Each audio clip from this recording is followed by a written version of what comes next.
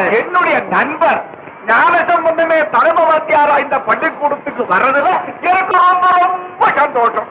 இந்த பள்ளிக்கூடத்துக்கும் ஞானத்துக்கும் இது வரைக்கும் சம்பந்தமே இல்லாம இருந்தது. இனிமே சம்பந்தம் வந்தாதான் உண்டு. எப்படியோ எங்களை எல்லாம் மறக்காம இந்த ஊருக்கே மாத்திக்கிட்டு வந்தீங்களே. அதுக்கு என்னுடைய பாராட்டு. நீங்க ஒண்ணு அவரவா மாத்திட்டு வந்தார்.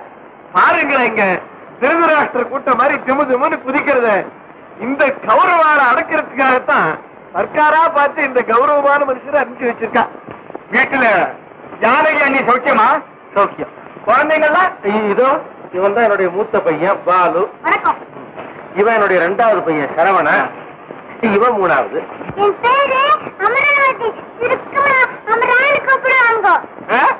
எனக்கு கூட அப்படிதான்.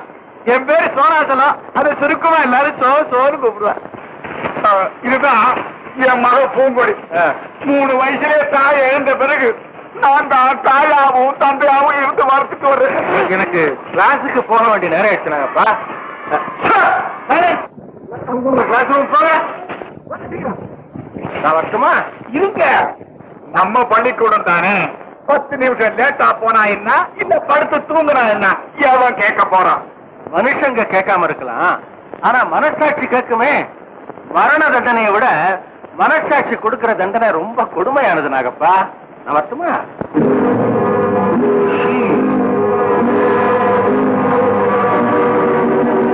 ஏம்பா, இங்க யாருக்கு கடவுள் வாழ்த்து பாட தெரியும்? இங்க பாட ஏய், நிறுத்துறா கடவுள் வாழ்த்தாது ஏன் சோனாச்சலம் பிள்ளைங்களுக்கு பிரார்த்தனைன்னா என்னன்னே தெரியாதா? பிரார்த்தனைன்னு ஒரு சினிமா படம் வந்தது. அது என்ன தெரியும். சரி சரி. வணங்காத புள்ளையும் வளையாத மூங்கிலும் எப்படியா உருப்பிடும்? ஏ உருப்பிடுமே. வளையாத மூங்கில்ல ஏதாவது ஒரு கட்சி கொடியை கட்டிக்கலாம் வணங்காத பிள்ளை அதை எடுத்துட்டு தெரு தெருவா சுத்தலாம். இப்ப உருப்பிடுறதுக்கு அதான் நல்ல வழி. போதையா நான் பிரார்த்தனை கீரை சொல்லித்தரேன். எல்லாரும் பாடு.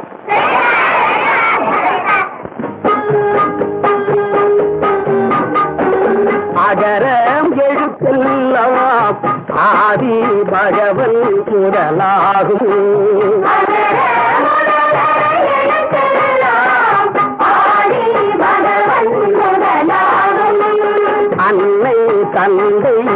ஆகான் தெய்வம் என்னும் நான்கும் தலையா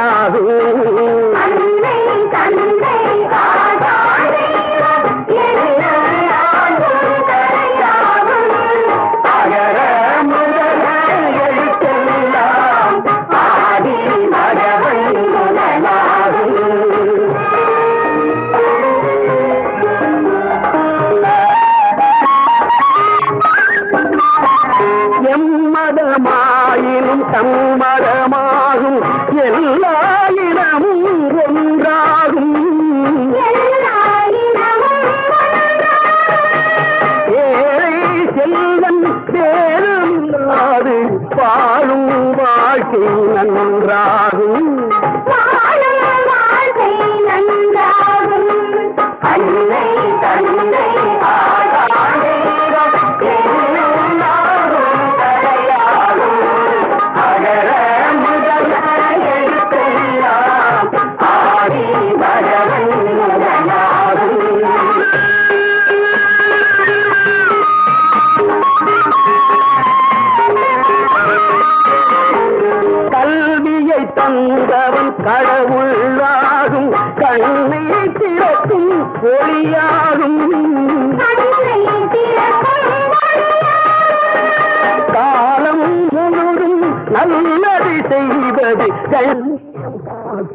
வழியாகும்.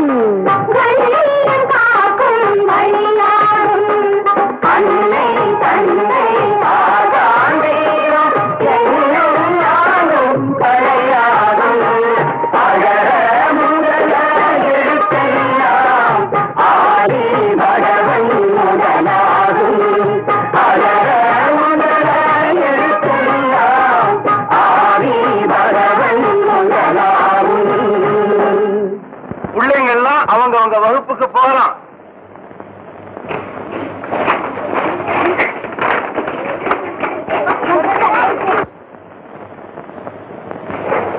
பூங்குடி நீ ஏமா இன்னும் நின்னுகிட்டு இருக்கிற?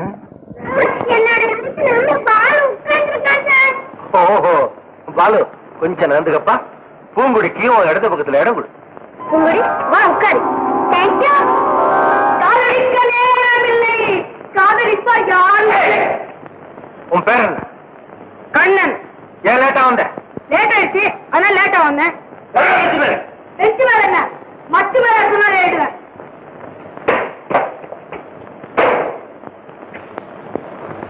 பிள்ளைகளே நீங்கள் எல்லாம் எதிர்காலத்துல மிகச் சிறந்த பிரஜைகளா வளரணும். பாரதத்தோட எதிர்காலத்து பெருமையே வாழர்களாகிய உங்க கையில தான் இருக்கு.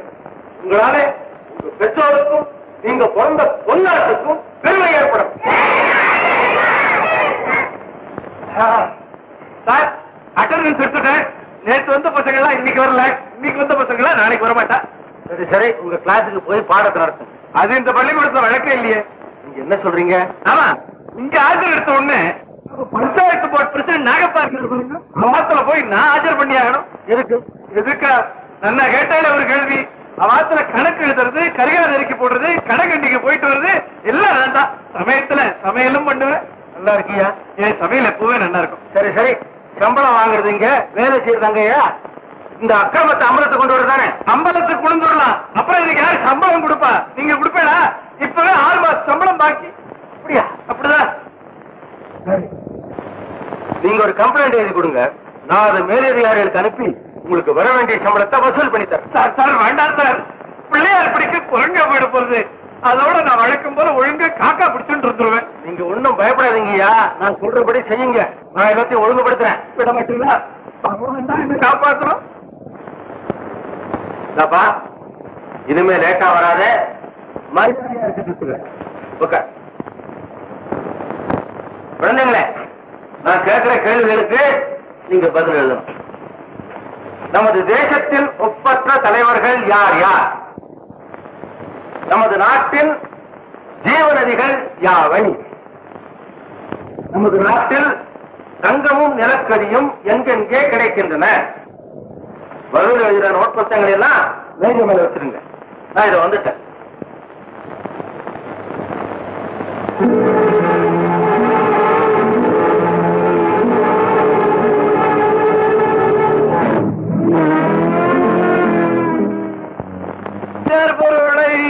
என்னாலும் திருட வேண்டாம். பிறர் பொருளை என்னாலும் திருட வேண்டும்.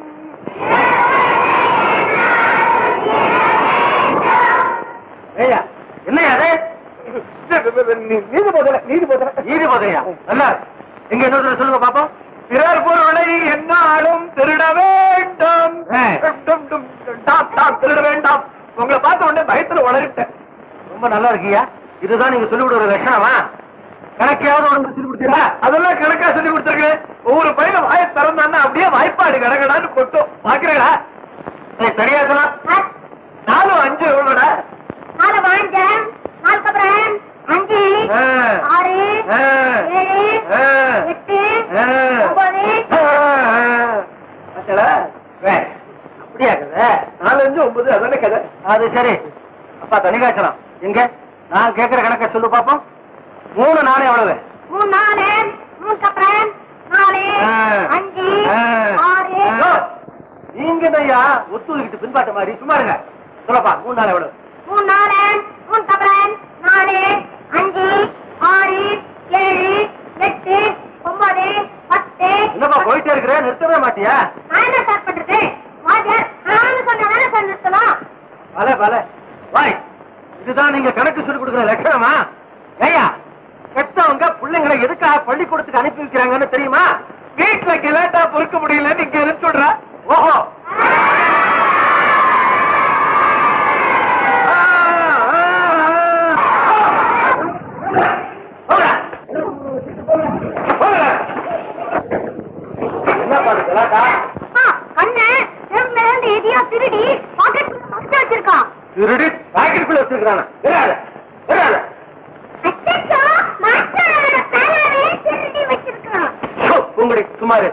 அவன் திருடுனத நீ பாத்தியா இதுக்கு அவன் மேல எப்படி சொல்ற?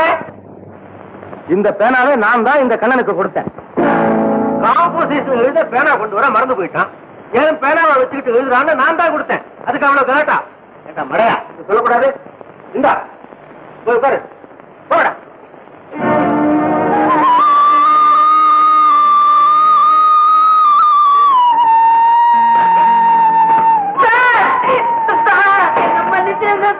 என்ன? அழாதப்பா. என்ன கண்ணா ஏன் அழற? உங்க பேனாவை திருந்தது நான் தானே தெரிஞ்சிருந்தும். மத்தவங்களுக்கு முன்னாடி காட்டி கொடுக்காம காப்பாற்றீங்களே நீங்க தெரியும் சார். நீங்க தெரியும். பாரு. அப்படி நான் உன்னை காட்டி கொடுக்காதனாலதான் இப்ப உன்னால திரும்ப முடிஞ்சது. நான் உன்னை காட்டி கொடுத்திருந்தா எல்லாரும் உன்னை திருட திருடன்னு கூப்பிட ஆரம்பிச்சிருப்பாங்க.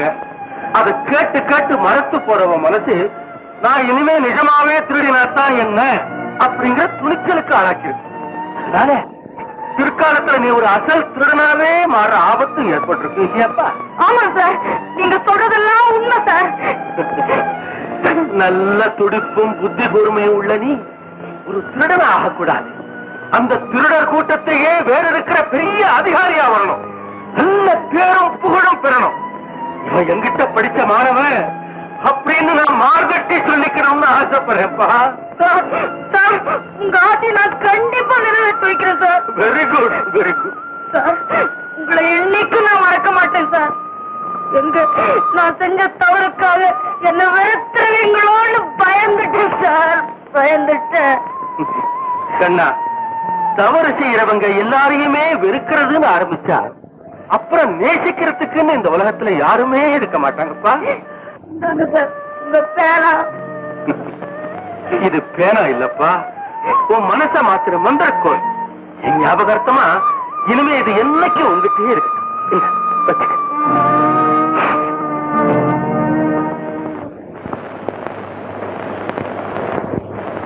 மமே மமே. யாரு? சோனாச்சலமா அடடே என்ன இது? இவ்வளவு காய்கறி வாங்கிட்டு வந்திருக்கீங்க? மாஸ்டர் வாங்கி அனுப்பிச்சாரா? மாஸ்க் வாங்கி அனுப்பல. அப்படி நானா வாங்கிட்டு வந்ததுதான். அப்படின்னு அதான் மாமூல். மாமிலா கேள்விப்பட்டதில்ல? மாமூல் உங்களை யாராவது கேட்டாங்களா? மாமூல் போய் யாராவது கேட்பாளா? நாம கொண்டு வந்து கொடுக்கறதா மாமூல் வாரத்துக்கு ஒரு தடவை ஸ்கூல் பசங்க ஆத்துக்கெல்லாம் போய் இதெல்லாம் அப்படியே கலெக்ட் பண்ணி ஹெட் மாஸ்டர் கிட்ட கொண்டு வந்து கொடுக்கறது என் டியூட்டி ரொம்ப. இன்னொரு பிள்ளைங்க வயித்துல அடிச்சு எங்க பிள்ளைங்க வயித்து நிரப்புற அளவுக்கு எங்க இருதயம் ஒண்ணு இரும்பா போயிடல. மாமூலா மாமூல் நானே லோகத்துல எல்லா இடத்துலயும் நிறைஞ்சிருக்கிறது ரெண்டே ரெண்டு. ஒண்ணு ஆண்டவன் இன்னொன்னு மாமூல் தெய்வ தரிசனம் கூட பணம் கொடுத்தாதானே நடக்கிறது? எதையாவது நீட்டினாதானே பரிவட்டமே கட்டுறா. பரவாயில்ல எடுத்துக்கோங்க. இந்த லஞ்சம் கொடுக்கிற வழக்கத்தை இனியோட நிறுத்திக்கிங்க. ஐயோ, இது லஞ்சம் இல்ல அன்பளிப்பு. லஞ்சம் தானே தப்பு அன்பளிப்புன்னா தப்பு இல்ல பொலின்னா தப்பு வாக்குறுதினா தப்பு இல்ல பேரை மாத்தி வச்சிடணும் தப்பு இல்லாம போயிடும். வேற எல்லாம் அப்புறம் மாத்திக்கலாம். முதல்ல இதெல்லாம் எடுத்துக்கிட்டு நீங்க வெளியே போங்க. போங்க. நீங்க கொடுத்து வச்சது அவ்வளவுதான். இதே நான் மட்டும் ஹெட் மாஸ்டர் இருந்திருந்தா நான் ஹெட் மாஸ்டர் இருந்தா எவனும் எதையும் கொண்டு வந்து தரமாட்டான். சரி.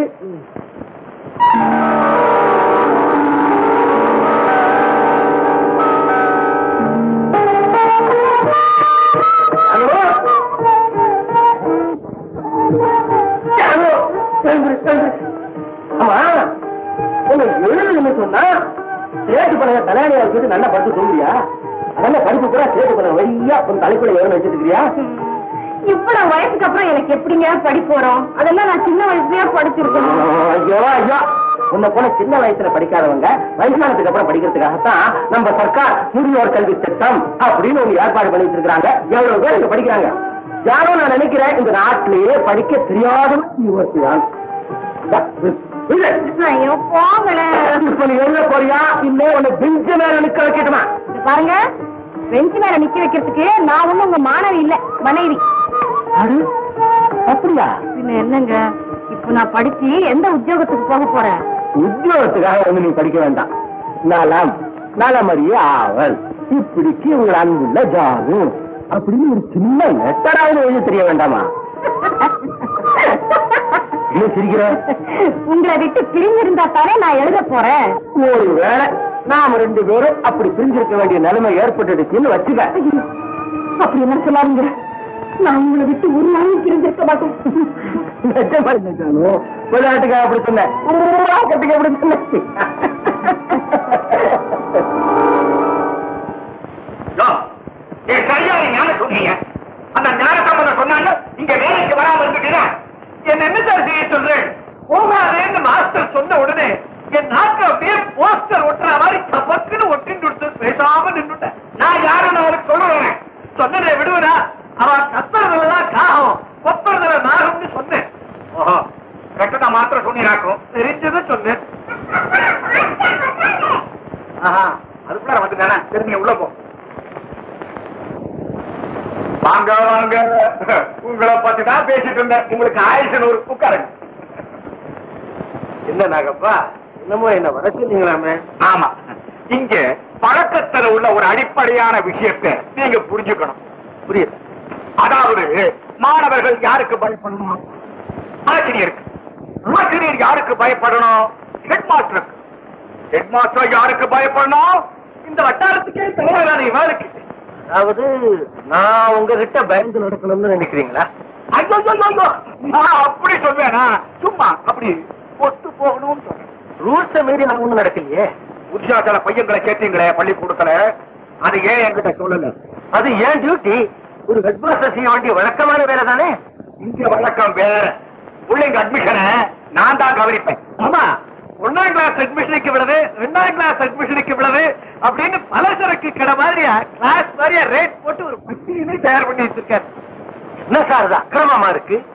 பணம் கட்டி படிக்க வசதி இல்லாத பிள்ளைங்க எல்லாம் படிச்சு முன்னேறங்கிறதுக்காகத்தானே பல கோடி ரூபாய் செலவு செஞ்சு நமது சர்க்கார் இலவச கல்வி திட்டத்தை உருவாக்கி இருக்காங்க அந்த கிராண்ட்டையும் ஒருங்கிக்கிட்டு பிள்ளைங்க கிட்டயும் பணம் வசூல் பண்றது சர்க்காருக்கே துரோகம் பண்றது இல்லையா நீங்க புரியாம பேசுறீங்க. இல்ல நம்மளை பத்தி புரிஞ்சுட்டாருன்னு நினைக்கிறேன். வேணாம் வேணாம் பணம் கொடுத்து படிச்சாதான் படிக்கிறவனுக்கும் கௌரவம் சொல்லி கொடுக்கிறவனுக்கும் கௌரவம். இதனா ரெண்டு பேருக்குமே பொறுப்பு இல்லாம போயிடும். நீங்க தான் பொறுப்பலாமே பேசுறீங்க. இலவச பள்ளிக்கூடத்துல அட்மிஷன் ஃபீஸ் வாங்குறது மகா பெரிய தப்பு ஓஹோ நீங்க அதை சொல்றீங்களா? ஆமாமா அது பணம் வாங்குற தப்பு தான். ஆனா நம்ம டொனேஷன்ங்கிற பேரால தானே வாங்குறோம் இதை என்னால ஒத்துக்க முடியாது. இந்த விஷயத்துல உங்க கூட என்னால ஒத்து போகவும் முடியாது. என்ன இப்படி கோச்சுக்கிறீங்க உட்காருங்க ப்ளீஸ் ப்ளீஸ் அதுக்குள்ளார கொதிச்சு போயிட்டீங்களே. அதாவது நான் சொல்ல வந்த விஷயமே வேற. இந்த ஊருக்கு பஞ்சாயத்து எலெக்ஷன் வரப்போகுது. கடந்த பத்து வருஷமா நான் தான் தலைவன். இப்ப அதுக்கும் எனக்கும் என்ன சம்பந்தம்? சம்பந்தம் இல்லாம சொல்வேனா உங்ககிட்ட படிக்கிற பிள்ளைங்க வீட்டுல இருக்கிற ஓட்டுகள் எல்லாம் எனக்கே போடும்படியா? நீங்க மன்னிக்கணும் ஆசிரியர்களும் மாணவர்களும் அரசியல் ஈடுபடக்கூடாதுங்கிறது என்னுடைய தாழ்மையான அபிப்பிராயம். கரெக்டான அபிப்பிராயமும் கூட. அப்படி எல்லாம் சொல்லி என்ன தட்டி கேட்க கூடாது. நீங்க மட்டும் என்ன ஜெயிக்க வச்சிட்டீங்கன்னா உங்களுக்கு பொன்னாட போட்டி மதர் கிரீடமே சூட்டுவேன் மலக்கிழமை வேண்டாம் மன்னர் கட்டிய வேண்டாம். முதல்ல இந்த ஏழை சோழர்களுக்கு ஆறு மாசம் சம்பள பாக்கிய பட்டுவாங்க பண்ணுங்க பாக்கியா? ஆனா ஐயா நான் உனக்கு பாக்கியா? பா, பா, பா, பாத்தீங்களா? திருட்டு மொழி முடிக்கிறத நான் திருட்டு மொழி முடிக்கல என் பார்வையே அப்படிதான். நான் ஒரு பயிருக்கு ஒரு பைசா கூட பாக்கி கிடையாது. அப்படின்னா உங்க கணக்கையும் இவர் கையெழுத்து போட்ட வவுச்சரையும் எனக்கு காட்டுங்க. வந்தான் சம்பந்தம் நீ அளவுக்கு மீறி போறேன். நீ கேவலம் சாதாரண ஒரு பள்ளிக்கூட வாத்தியார் இன்ஸ்பெக்டர் இல்ல கணக்க கொண்டா பவிச்சரை கொண்டான்னு கேட்கறது மிஸ்டர் நாகப்பா கண்டிப்பா சொல்றேன். இன்னையில இருந்து எண்ணி ஏழு நாளைக்குள்ள இவர் சம்பள பாக்கிய தீர்த்துடணும் இல்ல மெடிசன் பெரிய இடத்துக்கு போயிடும் ஜாக்கிரதை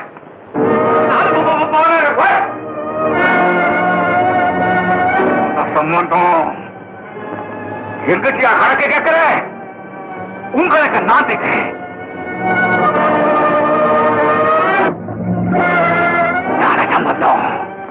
என் பகைக்கு முன்னாடி நீ வெறும் புகை.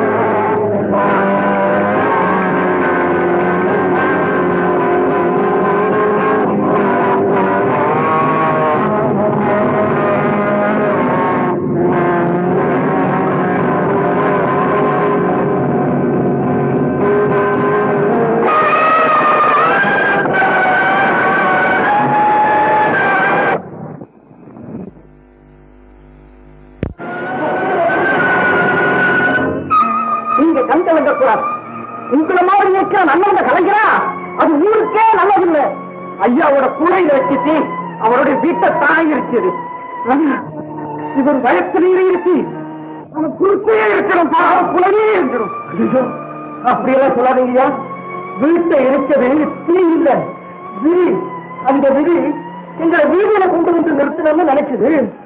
முடிஞ்சு விதையாவது வெண்டைக்காயாவது. எனக்கு ஒரு சந்தேகம். நம்ம ஊர்ல குடிசையில அடிக்கடி பத்திண்டு எரியறது. அதுக்கு காரணமே அவாளாதான் இருப்பாளோ? தழுவா தழுவா தழுவா ஐயோ கொடுமை கொடுமை. நேற்று ரதம் மாதிரி நிமிந்திருந்த வீடு இன்னைக்கு குட்டிச்சோரா நிக்குது அட பாவி நீ நன்னா இருப்பியா? உன் கையில கட்ட முளைக்க தீ வச்ச கை தீவட்டியா போக. நெருப்பு வச்சவன் கை உருப்பிடாம போக. யோ சின்ன வாத்தியா அப்படி எல்லாம் திட்டணும்னு எனக்கு ஆசையா இருக்கு சார். ஆனா அந்த கட்டாத பறவை யாருமே தெரியலையே. ஏதோ நடந்தது நடந்து போச்சு. என் நண்பருக்கு ஒரு கஷ்டம் தான் எனக்கு வந்த மாதிரிதான். அண்ணி என் வீடு கப்பல் மாதிரி இருக்கு. வாத்தியாரியம் குழந்தைகளை கூட்டிட்டு என் வீட்டுக்கு சீக்கிரமா வந்து சேரு. சார் நம்பாதே. முதல கண்ணீர் நம்பாதேள் நீங்க அந்த கப்பல்ல போய் கவுந்து போறதை விட இந்த மைதானத்திலே இருக்கலாம் சார். நான் போக மாட்டேன் சோனாசலம் எங்களுக்குன்னு ஒரு மர நிழல் கூட இல்லாமலா போயிடும். நீங்க ஏன் சார் மரத்தடிக்கு போகணும். நாங்கெல்லாம் எதுக்கு இருக்கோம்? நாங்கெல்லாம் சேர்ந்து உங்களுக்கு ஒரு வீடு கட்டி தரோம் சார். சின்ன குழந்தைங்க. நீங்க வீடு கட்டி கொடுக்க போறீங்களா? அது எப்படி போக முடியும். எங்களை சின்ன பசங்க நினைச்சாதீங்கம்மா சின்ன வீடு தானே. பெரிய மலையிலே பேக்குது. ஆனானப்பட்ட ஸ்ரீ ராமகுரானுக்கு அணில் குட்டியும் கோயில் குட்டியும் தானமா பாலம் கட்டி கொடுக்குது. கேவலம் நாங்க ஒரு வீட்டை கூட கட்ட மாட்டோம். எல்லாரும் வாங்க போலாம்.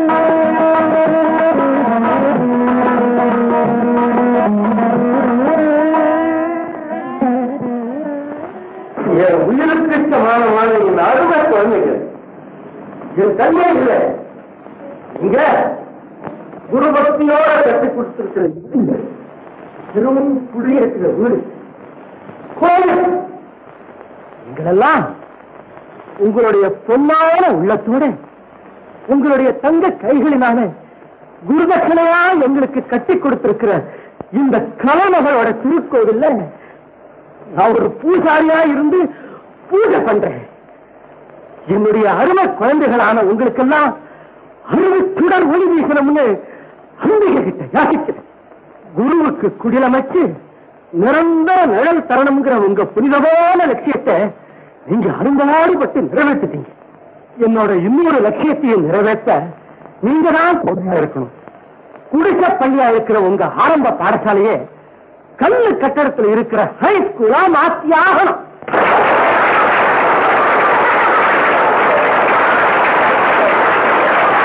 அந்த பள்ளிக்கூடத்தை அமைக்க நம்ம காலமே விட்ட சர்க்கார் ஒரு பெரிய தொகையை மானியமா கொடுப்பாங்க.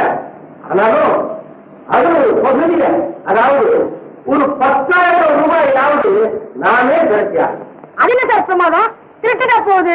அதுக்கு நீங்க வழி மட்டும் சொல்லி கொடுத்துருங்க. நீங்களே ஆச்சரியப்பட முடியா நாங்களாம் சேர்ந்து பணத்தை திரட்டி கொடுக்குறோமா இங்க பாருங்க. என்ன சொல்றீங்க? மிஸ்டர் நாகப்பன் உங்க மேல ஏகப்பட்ட ஊழல் குற்றச்சாட்டுகள் வந்திருக்குது. அதை விசாரிக்கத்தான் நாங்க வந்திருக்கோம் அப்படி என்ன பெரிய ஊழலை கண்டுபிடிச்சிட்டீங்க? ஒன்னா ரெண்டா? அதான் பட்டியலே இருக்குது. பட்டி விக்கிரமாதித்தன் கதை மாதிரி வால்யூம் வால்யூமா?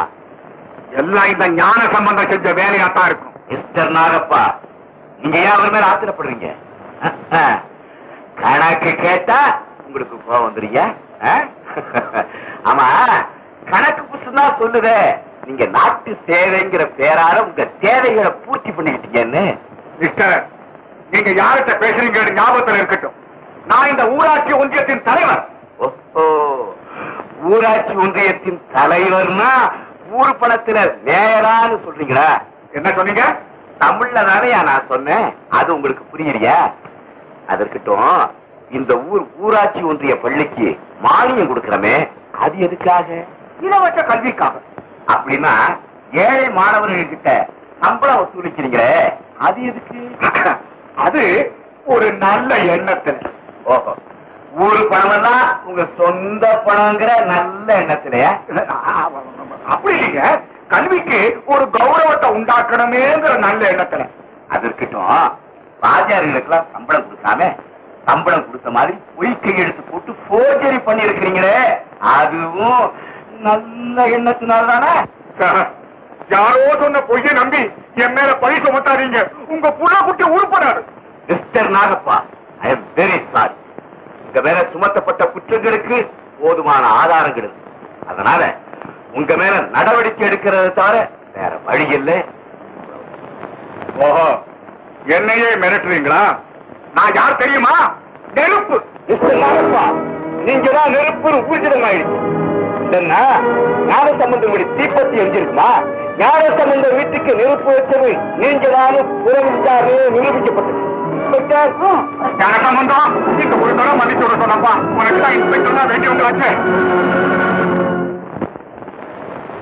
ஞான சம்பந்தர் என்ற ஆசிரியர் வீட்டுக்கு தீ வைத்த குற்றத்திற்காகவும் பொதுப்பணத்தை கையாடிய குற்றத்திற்காகவும் நாகப்பா என்ற பஞ்சாயத்து தலைவருக்கு ஏழாண்டு சிறை தண்டனை அடித்து தீர்ப்பு வழங்கப்பட்டது. ஏதோ உணர்ச்சி வசப்பட்டு தவறு செஞ்சிட்டாரு. அதுக்காக இவ்வளவு பெரிய தண்டனையா? என்ன மனசு? விளக்கு என்னதான் தலைகீழ கவுத்து பிடிச்சுட்டு இருந்தாலும் சுடர் மேல் நோக்கி தானே எரிஞ்சுட்டு இருக்கும் எந்த நிலைமையிலையும் பெரியவா பெரியவா தான். இருந்தாலும் இவ்வளவு நல்லவா இருந்துடாதீங்க அது நல்லதில்ல. உழைக்க முடியாது.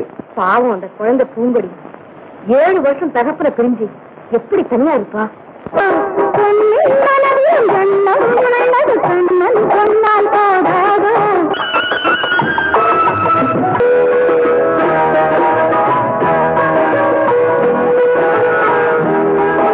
எனக்கு ஒரு சந்தேகம். ஐயோ சுத்தமான நீல பண்ணதான் அது எனக்கு தெரியும். எனக்காக நீ ட்ரீட் கொண்டு வந்தா அது சுத்தமான இல்ல செஞ்சிருக்கும். அது இல்ல உங்க அப்பா என்ன வயிற்றுல வாட்டர் டேங்கா கட்டி வச்சிருக்காரு?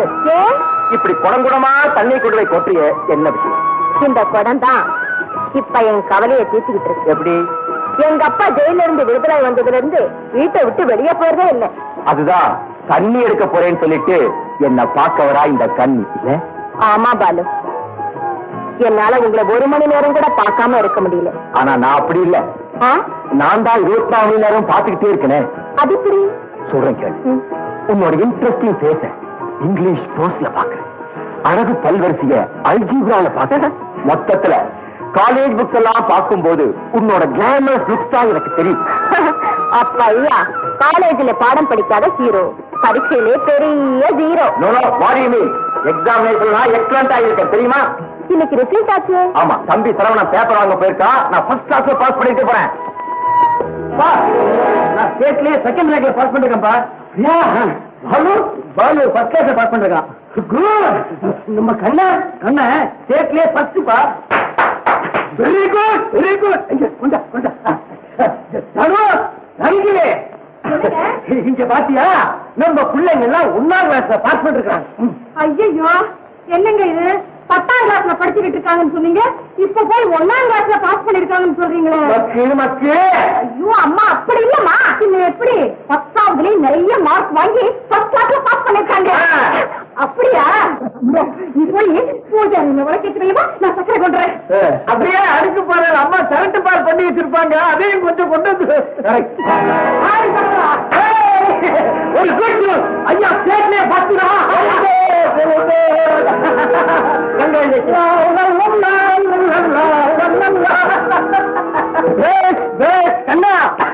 சாரி சார் பரவாயில்ல. அது என் பிள்ளைங்க பாஸ் பண்ணிட்டாங்கன்னு கேக்குறத விட நீ பாஸ் பண்ணிட்டேன்னு கேட்ட உடனே என் நெஞ்ச நிறைஞ்சு போச்சுப்பா. இதுல ஏற்கனவே ஒண்ணு இல்ல சார் என்ன அந்த மந்திரக்கோளோட மகிமை தான் இந்த மந்திரக்கோள்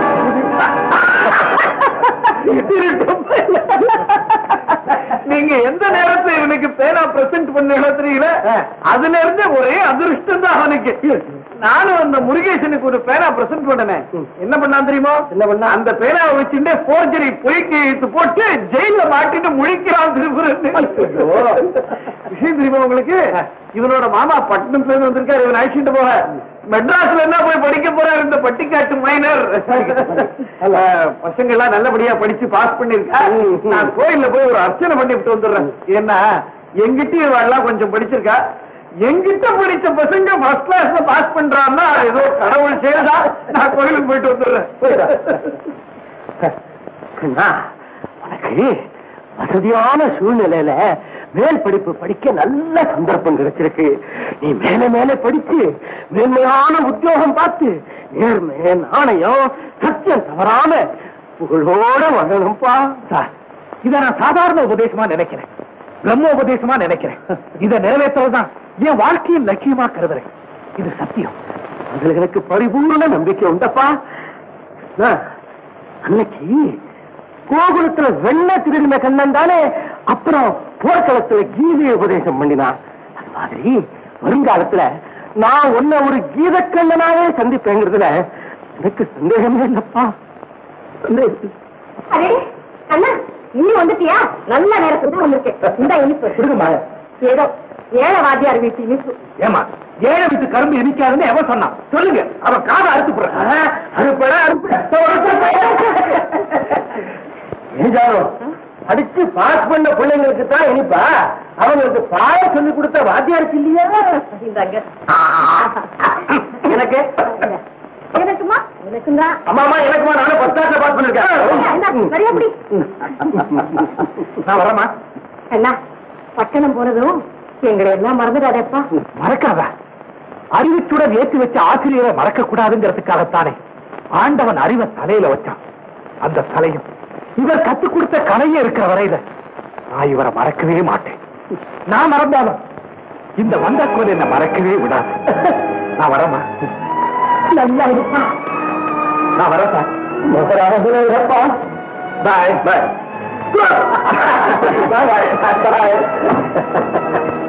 ஆமா என்னுடைய நண்பர் ஞான சம்பந்தம் எப்படி இருக்கிறாரு? ஞான சம்பந்தரோட புகழ் கொடிகட்டி வளர்க்குது தான் அழிஞ்சாலும் பரவாயில்ல. மத்தவங்க நல்லா இருக்கணும்னு நினைக்கிற அவருக்கு ஒரு கஷ்டமும் வராது. வரக்கூடாதுதான் ஆனா வந்திருக்குதே. என்ன கஷ்டம்? மன கஷ்டம். அதனால மன கஷ்டம். ஐயோ ஐயோ ஐயோ. ஆமா நீங்க என்ன சொல்றீங்க? கொஞ்சம் விளக்கமா சொல்லுங்க. அதாவது பிள்ளைங்களோட பள்ளி படிப்பு முடிஞ்சு போச்சு.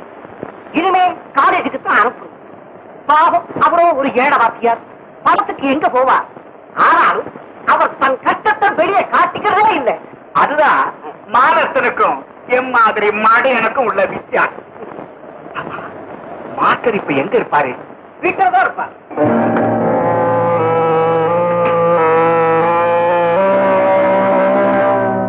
வாடா. நம்ம ஹைஸ்கூல் கட்டட நிதிக்கு இதுவரை பத்தாயிரம் ரூபாய் சேர்ந்துருக்கு. பார்க்க போனா நிதி இன்னும் தேவைப்படும் பண்ண வேண்டியதான் அதுல உள்ள தப்பு இல்ல. என்ன ஆனாலும் சரி நம்ம ஹைஸ்கூல் கட்டடத்துக்கு கட்டாயம் அச்சு வர நாட்டி ஆகணும். நீ என்ன சொல்றது பள்ளிக்கூடம் கட்டுறத பத்தி கவலைப்படுங்க. நான் வேண்டான்னு சொல்லல. அதே சமயம் நம்ம புள்ளி குட்டிங்களை பத்தியும் கொஞ்சம் கவலைப்படுங்கன்னு தான் சொல்றேன். அது சரி. காலேஜ் திறக்க போறாங்களே.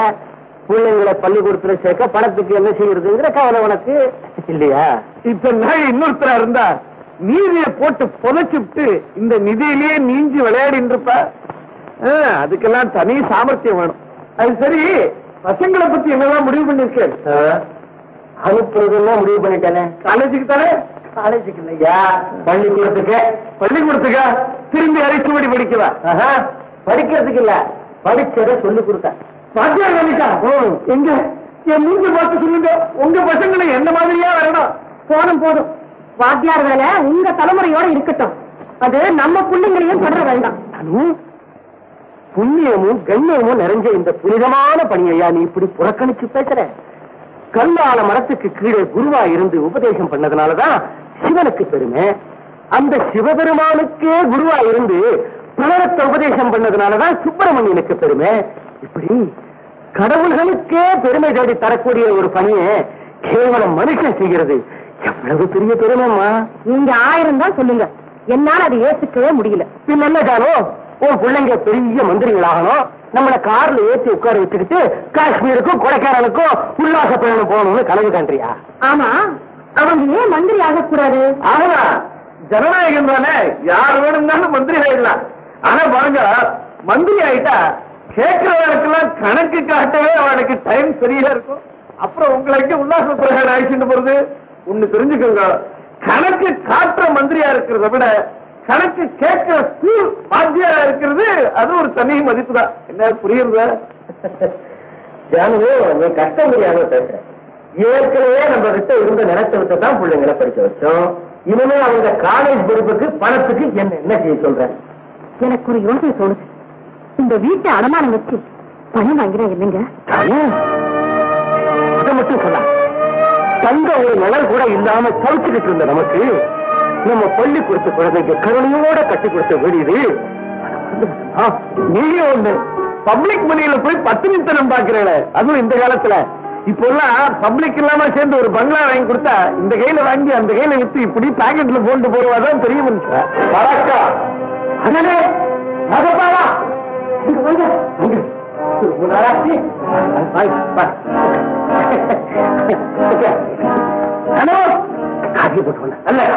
வாத்தியாரு, நீங்க என்ன ரெண்டு அடியாருக்கு இருந்தாலும் கூட எனக்கு ஆறுதலாக இருக்கும். ஆனா உங்க அன்பு என்ன அனுமானமா சித்திரவதை செய்யும். அப்ப நான் வரட்டுவான் தொடர்ந்துவான் ஏன் என்ன பார்த்து பயந்து ஓடுறேன் இல்ல. பள்ளியை கண்டா தள்ளி போ பாம்பை கண்டா துள்ளி போது பெரியவா சொன்னா? அதான் நான் துள்ளி போயிட்டு இருக்கேன். இப்ப உங்களுக்கு இன்னொரு ஏழு வருஷம் வாங்கி கொடுக்கறதுனால எனக்கு என்ன லாபம்? சொன்னாச்சலாம் அப்படி எல்லாம் சொல்லக்கூடாதுப்பா. அவர் மனசு திரும்பி வந்திருக்கலாம் இல்லையா? ஆமா. இவர் என்ன கலங்கத்தை கங்கையிலேயே கைவிட்டு வந்திருக்கார். பாவத்தை கூவத்துல இருந்து அலசிட்டு வர்றார். அது மாறுமா இல்ல நாறுமா? அவர் சொல்றதெல்லாம் வாஸ்தவம் தாங்க நான் செஞ்ச பாவத்தை எந்த தண்ணியாலையும் கழுவ முடியாது. எனக்கு மன்னிப்பே கிடையாது. கவலைப்படாதீங்க நாகப்பா. நீங்க மனம் திருந்தி அழுத போதே மன்னிப்பு பெற்றவர் ஆயிட்டீங்க இந்த காபி சாப்பிடுங்க. சாப்பிடுங்க நாகப்பா. நான் உங்களுக்கு செஞ்ச பாவத்துக்கு பிராயச்சித்தை செய்யாம உங்க வீட்டுல தண்ணி கூட குடிக்க மாட்டேன். ஆமா. உங்க துன்ப சுமையில இருந்து ஒரு சின்ன துரும்பையாவது தூக்கி நான் கீழே போட்டாதான் என் மனசுக்கு சாந்தி கிடைக்கும். அப்படின்னா? உங்க குழந்தைகளை காலேஜில் படிக்க வைக்கிற செலவை நான் ஏத்துக்கிறேன். அதுக்கு அனுமதி அளிக்கணும். மன்னிக்கணும் அதுக்கு என்னால சம்மதிக்க முடியாது. அண்ணி நீங்களாவது அவருக்கு சொல்லுங்க ஊரு பிள்ளைங்க எல்லாம் படிக்க வச்சாரு. அவருடைய பிள்ளைங்க படிக்காத ஒரு நிலைமை ஏற்படலாமா? அப்புறம் என் மாதிரி பெரிய மனுஷன் இந்த ஊர்ல இருந்து என்ன இருந்து என்ன? ரெண்டு ஒண்ணுதான். ஏங்க இப்படி செஞ்சா என்ன? எப்படி? அவருக்கு மனசாந்தி கிடைக்கணும். நம்ம பிள்ளைங்களும் படிக்கணும். அதுக்கு ஒரே வழி. அவர்கிட்ட இருந்து இலவசமா பணம் வாங்காம கடனா வாங்கிக்கிட்டா என்ன? எப்படியோ இந்த பாவியினுடைய பணம் உங்க மாதிரி நல்லவங்களுக்கு பயன்படணும். அதுதான் என்னுடைய லட்சியம். பெரிய மனுஷால லட்சியம் கொள்கைன்னு பேச ஆரம்பிச்சாலே எனக்கு பயமா இருக்கு. அப்பா அண்ணே இப்ப கொடுங்க. நல்லா பிடிக்கிறேன் இதுக்கு நான் உடனே புரோனோட் எழுதி கொடுத்துறேன். எனக்காக வேண்டாங்க. உங்க திருப்திக்காக வேணா எழுதி கொடுங்க. உங்க வார்த்தைக்கு தான் பொருணோட்டோட மதிப்பு அதிகமாச்சு.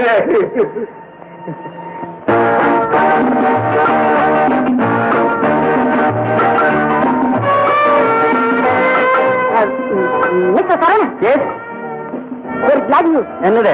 உங்க ஆ. பஞ்சர் ஆயிடுச்சு.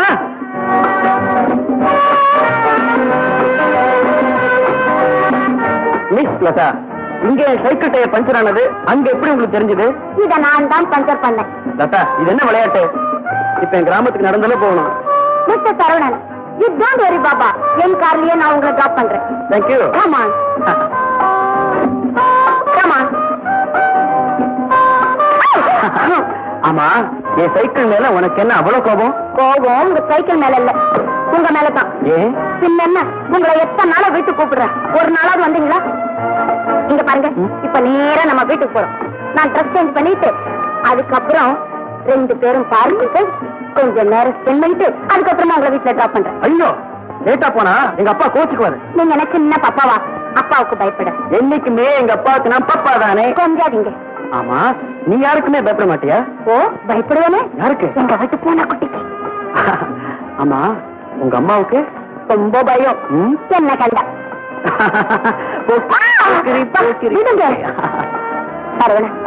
உண்மையை சொல்ல போனா எனக்கு ஒரே ஒரு பயம்தான். என்னது? உங்களுக்கு என்ன பிடிக்குதே இல்லையேன்னு? இந்த கேள்விக்கு என்ன ஆன்சர் தெரியுமா? என்ன. விடுங்க.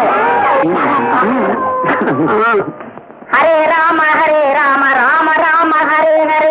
ஹரே கிருஷ்ண ஹரே கிருஷ்ண கிருஷ்ண கிருஷ்ண ஹரே ஹரே. மாமி யாரம்மா இவரு? பார்த்தா எப்படி தெரியுது? ஹரே ராம ஹரே கிருஷ்ணானந்த தேவானந்த மாதிரி இருக்குது. தம்பி உட்கார்ங்க. அம்மா இவரே எங்க காலேஜ் மேட் இவங்க தான் எங்க அம்மா. ரொம்ப பக்தி. ஹரே ராமா ஹரே கிருஷ்ணா பரம்பாட்டில் இருந்த? ஆமா தம்பி. ஆஹா ஆஹா. பக்தின்னா பக்தி இவனோ பக்தி. இது வேணா நீங்க ரெண்டு பேரும் பேசிட்டு இருங்க. நான் இப்போ வந்துடுறேன். கோயந்தா தம்பி காசு கொண்டு கொடு. தம்பி என் பேர் என்ன தெரியுமா? பர்வத வர்த்தினி ரொம்ப பாரமான பேர் தான் பாருங்க அபாரம்னு. அதானே கேட்டேன். ஹரே ராம ஹரே கிருஷ்ணா. தம்பி எனக்கு பக்தி பாட்டுனா ரொம்ப பிடிக்கும். அதுலயும் ஒரு பக்தி பாட்டு ரொம்ப ரொம்ப பிடிக்கும். அது எந்த பக்தி பாட்டோ? தம்மரோதம் நிஜம் போலோ சுபாஷாம் ஹரே கிருஷ்ணா ஹரே ராம். ஹரே கிருஷ்ணா காபி ராம். காப்பி. தம்பி காப்பாப்பில தேங்க்யூ தம்பி உங்க பேர் என்ன? என் பேரு சரவணன். அடாடாடா சரவண பொய்கையில் நீராடி அப்படின்னு எம் எஸ் விஸ்வநாதன் மியூசிக்க சுசிலா பாடும்போது கேட்டா ஆஹா தம்பி சாப்பிடுங்க. தம்பி உங்க அப்பா பேர் என்ன? ஞான சம்பந்தர் ஞான சம்பந்தர் ஆஹா அந்த சீர்காழி படித்துறையில சாட்சாத் பார்வதி பரமேஸ்வரரை தரிசனம் பண்ணின. அந்த திருஞான சம்பந்தர் பேரா? தன்யநாணயம் தன்யநாணயம் தம்பி சாப்பிடுங்க. தம்பி ஆமா உங்க அம்மா பேர் என்ன? ஜானகி அம்மா. ஜெய் ஜானகி காந்த ஸ்மரணே. கோவிந்த நாம சங்கீர்த்தனம் கோவிந்தா கோவிந்தா. ஏன் தம்பி பயந்துட்டீங்களா? இல்ல இல்ல. நீங்க கோவிந்தா கோவிந்தான கத்துன உடனே யாருக்கோ என்னமோ ஏதோன்னு பயந்துட்டேன். அவ்வளவுதான். சரி சரி சாப்பிடுங்க. இல்லைங்க இருங்க. முதல்ல என் சரித்திரத்தையே சொல்லிடுறேன். அப்புறமா முடிஞ்சா சாப்பிடுறேன். எங்க கிராமத்து பேரு பூஞ்சோலை. அஞ்சு மேலு கண்டாண்டு இருக்கு. எங்க அப்பா ஸ்கூல் வாத்தியார். எனக்கு ஒரு அழகான தங்கச்சி உண்டு. பேரு அமராவதி. எனக்கு ஒரு அண்ணனும் உண்டு. எங்க அண்ணனுக்கும் கல்யாணம் ஆகல. என் தங்கைக்கும் கல்யாணம் ஆகல. எனக்கும் கல்யாணம் ஆகல. டீடைல்ஸ் போதுமா? காஃபி சாப்பிடலாமா? சாப்பிடுங்க சாப்பிடுங்க. சாப்பிடலாமா? ஆமா ஆமா. இப்பதான் சரித்திரம் முடிஞ்சிருக்கு. பூகோளத்தை ஆரம்பிக்கிறதுக்கு முன்னாடியே இங்க இருந்து போயிடலாம். வரேங்க. ஹரே கிருஷ்ணா ஹரே ராமா. நான் என் கண்ணால பார்த்தேன். அந்த பொண்ணோட கொலா விட்டு போறது சாட்சாத் நம்ம சரவணனே தான். அவன் காலேஜில் படிக்க போறானா? இல்ல அப்பாவி பெண்களை கெடுக்க போறானா? என்கிட்ட சொல்லிட்டு போறது இல்லை சார். அந்த பொண்ணு யாருன்னு உங்களுக்கு தெரியுமா? தெரியும். திருச்சிராப்பள்ளி செப்பக்குளந்தூர் பத்தாவது நம்பர் வீடு பரவரம்மா பொண்ணு பேர் லதா என்னடா இது ஊர்ல இருக்கிற பொண்ணு எல்லாம் இவன் தெரிஞ்சு வச்சிருந்திருக்கானு பார்க்காது. அவன் ஆத்துல எல்லாரும் எனக்கு தெரியும் அவ்வளவுதான். நான் கேள்விப்பட்டது மட்டும் உண்மையா இருந்தா அந்த சர்வர பெயரை வந்துடுறேன் கொஞ்சம் கேளுங்க. லதா? நான் வாசிக்கிறது. உங்களுக்கு பிடிக்கலையா? வாசிக்கணுமா? நீ வாய் திறந்து பேசினாலே போதுமே. உன் சல்லாத பேச்சு சங்கீத கச்சேரி ஆட்டம் இருக்கு. ஏப்பா இருக்கு? பின்ன இல்லைன்னா உன்னோட ஒவ்வொரு சொல்லும் மதுவ ஆட்டம் மயங்க வைக்குமா? நீங்க நிச்சயமா மயக்கத்துலதான் இருக்கீங்க இல்லன்னா லேட்டா போன அப்பா கோவிப்பாருன்னு சொன்ன நீங்க இவ்வளவு நேரம் இங்கேயே இருப்பீங்களா? லதா லதா நான் சொல்றது கேள. லதா நாம ரெண்டு பேரும் இப்படியே எப்போதும் இணைஞ்சிருந்தா? எப்போ இருந்தாலும் ஒழுங்கா நடந்துகிட்டா மஞ்சள் தடவை பத்திரிகை வரும். இல்லைன்னா மஞ்சள் பத்திரிகையில தான் வரும்.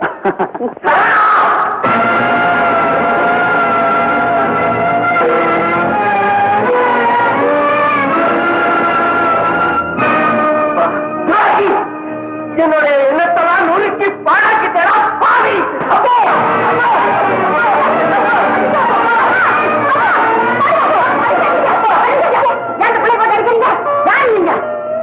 துரோகியப்பட்ட துரோகியை பெற்ற துர்தசாலிமானா துர்தசாலி உன்னால இந்த பொண்ணோட வாழ்க்கையில ஏதாவது தவறு நடந்துட்டா அப்ப இந்த பொண்ணோட எதிர்காலம் என்ன ஆகும்னு கொஞ்சம் யோசிச்சு பார்த்தியாடா? ஏய் வயசு பொண்ணு வானத்துல இருக்கிற நட்சத்திரமும் ஒண்ணுதான்டா. வானத்துல இருந்து வழி தவறி விழுந்துட்டா? அப்புறம் அது கண்ணுதான். வானத்துல இருந்து மனம் தவறி விழுந்துட்டா? அந்த பொண்ணு அப்புறம் மண்ணுதான்டா. மண்ணுதான். தயவு செஞ்சு நான் சொல்றத கேளுங்க. நீங்க நினைக்கிற மாதிரி இப்ப எந்த தவறுமே நடந்தில்ல.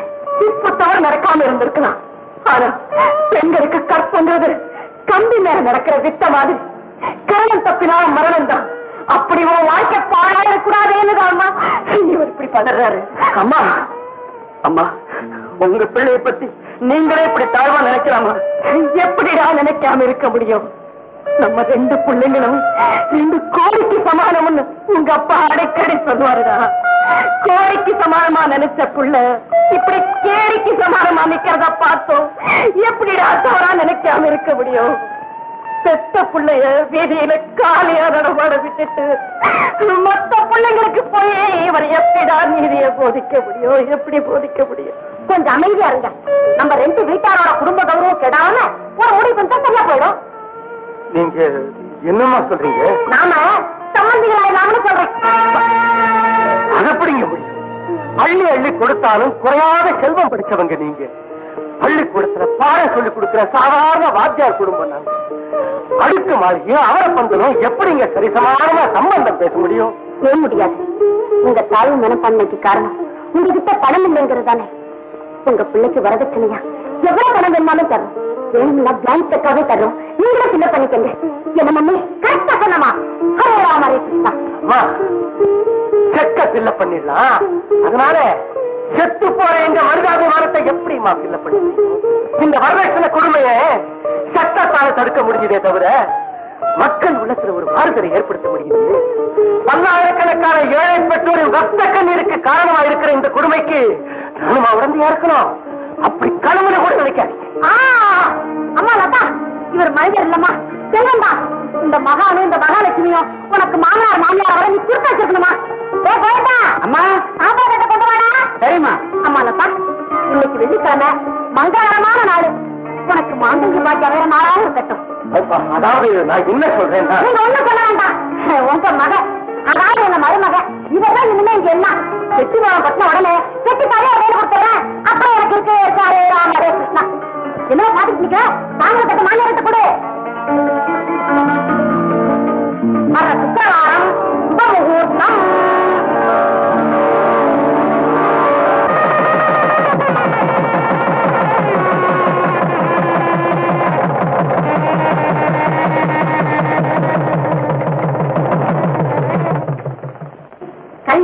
கல்யாணமோ வைபோகமோ எல்லாம் நல்லபடியா முடிஞ்சு போச்சு.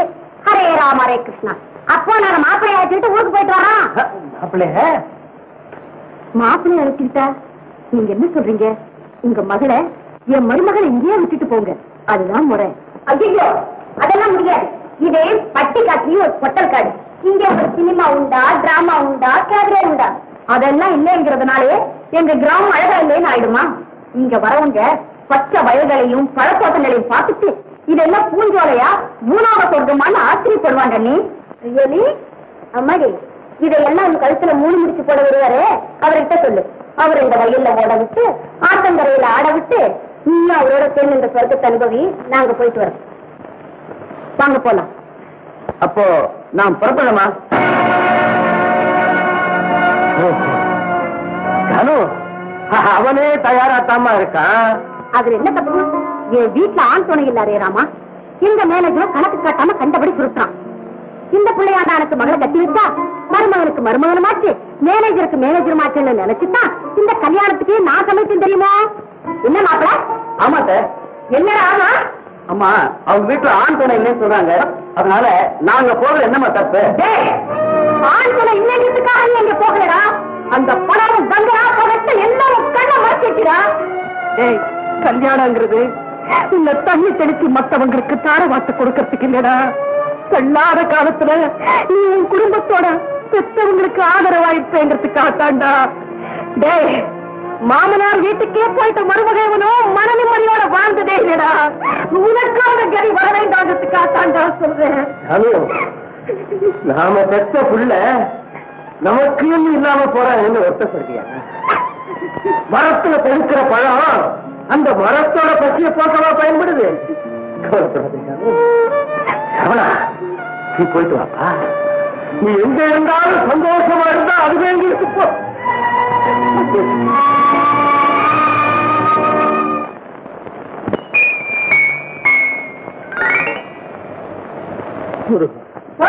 சார், சார், சார், அவன்லாம் வந்துட்டா. அதான் வந்து, மாப்பிள்ளை வீட்டுக்காரா, ஓஹோ, அப்படியா அங்கதான் நீங்க குழந்தைக்கு வந்து அலங்காரம் பண்ணி அழைச்சிட்டு வாங்க. மாப்பிள்ளைய பார்த்த உடனே கொஞ்சம் வெக்கப்பட சொல்லுங்க. வாங்க வாங்க வாங்க. வாங்க வாங்க வாங்க. சார வரலாம் வரலாம் உட்கார் பிள்ளை வாழ் இவா ஊர்ல போய் புண்ணாக்கு பிள்ளை வாழ்னு சொன்னா போதும்.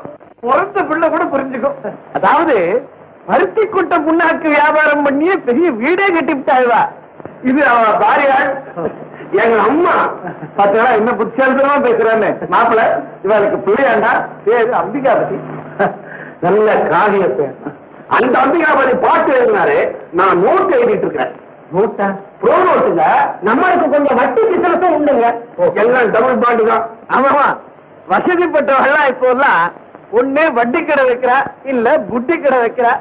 ஏழப்பட்டவாளுக்கு இங்க சல்லி கிடைக்கும் அங்க மில்லி கிடைக்கும். நாய இருக்கு. பொண்ணை அழைச்சிட்டு வந்தோம்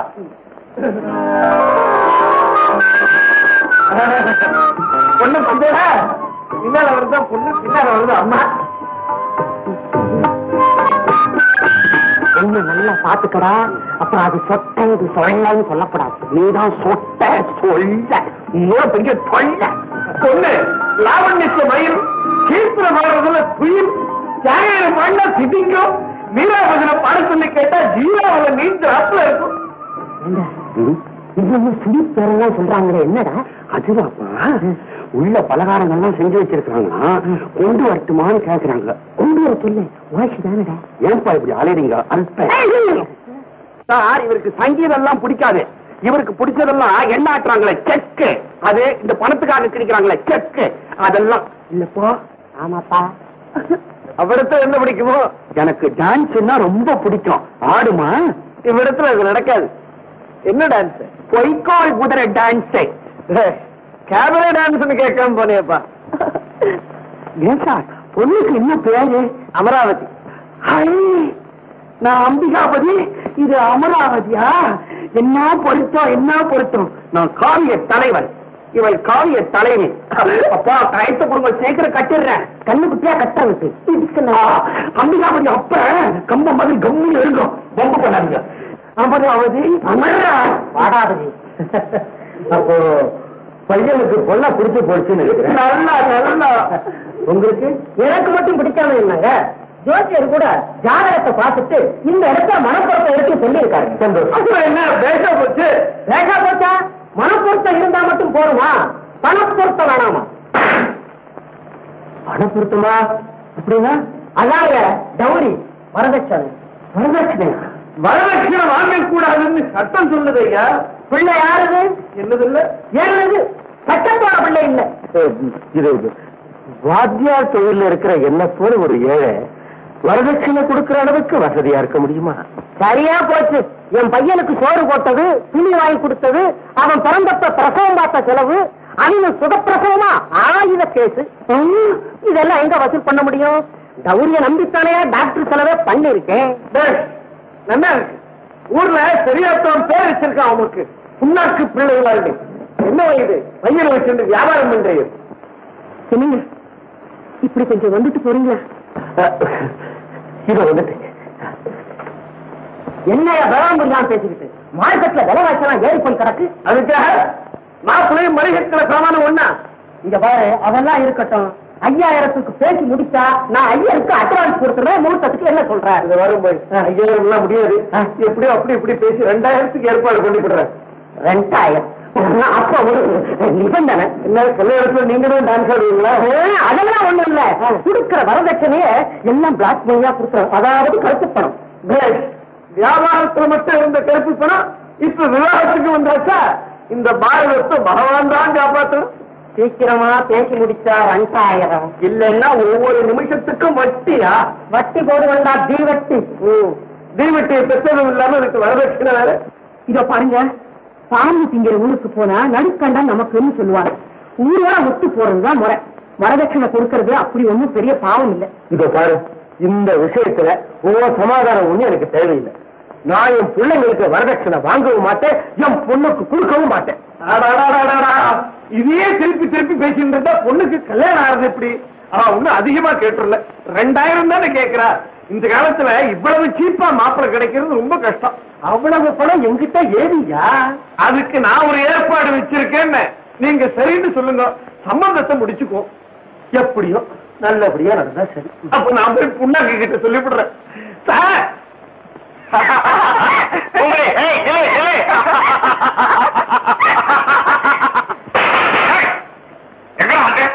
பூங்குடிய பார்க்க வந்து. நீ யாரா பூங்குடிய பாக்குறதுக்கு நான் தான் கல்யாணம் செஞ்சுக்க போறவன். என்ன சொன்ன?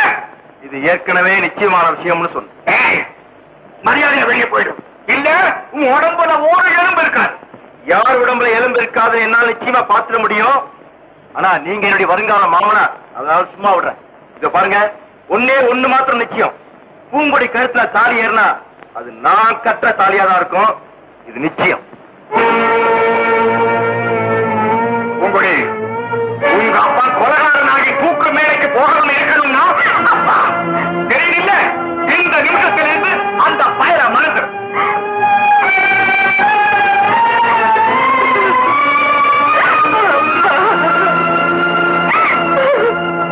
கவலைப்படாங்க போன காரியம் சக்சஸ் நம்ம பாலுவுக்கு ஒரு நல்ல இடத்துல பொண்ணு பார்த்து ஏற்பாடு பண்ணிட்டு வந்துட்டேன்.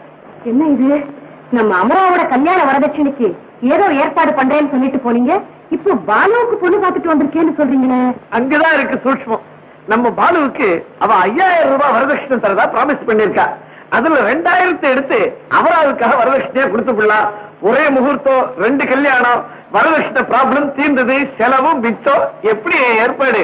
ஆனா ஒண்ணு இந்த வரதட்சணை விஷயம் மாஸ்டருக்கு தெரியக்கூடாது. தெரிஞ்சா அவர் கல்யாணத்தையே நிறுத்தி விடுவார். அவருக்கு தெரியாமலா? அது எப்படி முடியும்? முடியும். அதுக்கெல்லாம் நான் வழி பண்ணிவிட்டேன்னு. இந்த பண விஷயம் எல்லாம் உங்களோட தான் பேசணும்னு அவகிட்ட கண்டிஷனே போட்டுவிட்டேன். சில சமயத்துல என்னையும் அறியாம நான் புத்தியாலித்தனமா ஏதாவது பண்ணிவிடுவேன். இது வரைக்கும் அவருக்கு தெரியாம நானும் எனக்கு தெரியாம அவரும் எந்த ஒரு காரியத்தையும் நடத்துனது இல்லையே கால் காசு போறாத காரியத்துக்கெல்லாம் கலந்து பேசிட்டு இப்போ கல்யாண காரியத்துல இவ்வளவு பெரிய ஒளிவு மறைவு பண்ணலாமா? என்ன என்ன? கல்யாண பேச்செல்லாம் ரொம்ப மும்மரமா இருந்துட்டு ஆமாங்க. நம்ம அமரா கல்யாணத்தோட பாலுவோட கல்யாணத்தையும் வச்சுக்கிட்டா கல்யாண செலவு குறையும் ஒரு நல்ல இடத்துல நம்ம பாலுவுக்கும் பொண்ணு பார்த்துட்டு வந்திருக்காரு. அப்படியா? மாமி கிட்ட எல்லாம் டீட்டெயில்ஸா சொல்லிவிட்டேன் பேட்டா நடத்துங்க எனக்கு சம்மதம்னு சொல்லிவிட்டேன் நீங்க தான் ஜானுவுக்கே ஒரு காரிய சம்மதம்னா எனக்கு பரிபூர்ண சம்மதம்னு தான் அர்த்தம். நம்ம பாலுவை ஒரு வார்த்தை கேட்டுட்டா நல்லது. உங்களை மீறி என்ன சொல்லிவிட போறான் அதோ பாலு வரானே. அவங்ககிட்ட கேட்டா போறது. பாலு இந்த உனக்கு ஒரு நல்ல இடத்துல கல்யாணத்துக்கு பொண்ணு பார்த்துருக்கு மன்னிக்கணும். கனிஷ்டா வருது நான் அதை விரும்பல. ஏப்பா நீ பொண்ணை பார்க்காமலேயே விரும்பலன்னு நிர்தாட்சியமா சொல்லிட்டா இப்படி? எனக்கு பிடிக்காம விட வேண்டியதானே டேய் பாலு ஏற்கனவே இத பத்தி ஒரு முடிவுக்கு வந்திருக்கிறதுனால என்னங்க யாருக்கு முடிவு செஞ்சீங்க? உங்க அம்மா தானா முடிவு பண்ணா? உங்க இஷ்டத்துக்கு நீங்களா முடிவு செஞ்சா? அதனால வரக்கூடிய அவமானத்தை நீங்களே போங்க கல்யாணம் பண்ணிக்க போறது நானா நீங்க?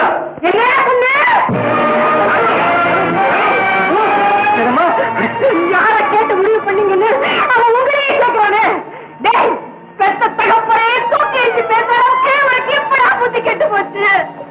நான் ஒண்ணுமே பேசாம ஊமையா இருக்கணுமா? சரி அப்படித்தான் நான் என்ன தப்பா பேசிட்டேன் இன்னும் தப்பா பேசிட்டு நான் கேட்கிறேன் இருபது வருஷம் பாடுபட்டு வளர்த்த தகப்பனே தூக்கி எறிஞ்சு பேசிட்டீங்களா டேய் பெத்தவங்க மனசு கலங்கினா புள்ளிங்க வாழ்வு ஆத்திரப்படாத ஜானு. அவன் பேசட்டுமே. யாரு? நம்ம பிள்ளை தானே பேச பேசட்டும். வண்டு முதிச்சா பூவு நசுங்கிடுமா என்ன? அம்மா என்னால இந்த வீட்டுல எந்த குழப்பமும் வேண்டாம்மா எனக்கு கல்யாணமே வேண்டாம். அப்படி சொல்றது உனக்கு ஒரு வார்த்தை அம்மா. எங்களுக்கு அதுதான் உயிர் பிரச்சனை. டேய் பாத்தியாடா பாத்தியா? அவன் மனசு எவ்வளவு துன்பப்பட்டிருந்தா அந்த வார்த்தை வந்திருக்கும். அமராவோட கல்யாணத்தை நானா தடுத்தேன். ஆமாண்டா நீதான் தடுத்த நீதான்டா தடுத்த. என்னம்மா சொல்றீங்க? பின்ன என்னடா நாங்க பாத்துருக்கிற பொண்ணை கல்யாணம் பண்ணிக்க நீ சம்மதிச்சாதான் ஐயாயிரம் ரூபாய் வரதட்சணை கிடைக்கும். அதுல இருந்து ரெண்டாயிரம் ரூபாய் கொடுத்தாதான் அமராவுக்கு கல்யாணமே நடக்கும்டா. ஆமாம் பாலு. நீ கல்யாணத்துக்கு சம்மதிக்கிறது பொறுத்துதான் இருக்கு. உன் தங்கைக்கு கல்யாணம் நடக்கிறது. நான் விரும்புற பொண்ணை தவிர வேறொருத்தை கல்யாணம் செஞ்சுக்க நாள் சம்மதிக்க மாட்டேன். அப்போ உன் தங்க கழுத்துல தாலி ஏறாமலே மனசு உறங்கி செத்தாலும் பரவாயில்லைங்கிறியாடா. இல்லன்னா தங்கச்சிக்காக நான் சாகணுங்கிறீங்களா? நீங்க யாரும் சாக வேண்டாம். உன் மனசை பிடிச்சு ஆட்டி வச்சுருக்கே ஒரு சனியன். அது செத்து ஒழிச்சா போறோம். எல்லா பிரச்சனையும் தீர்ந்து போயிடும்.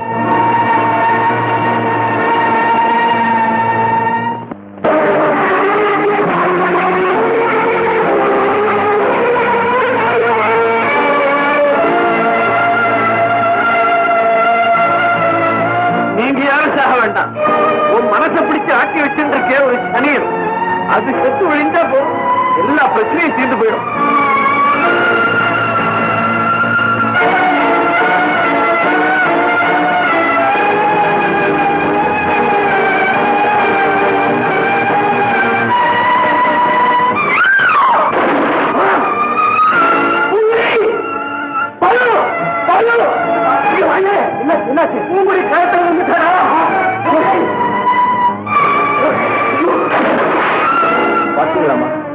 பூங்குடி செஞ்ச காரியத்தை.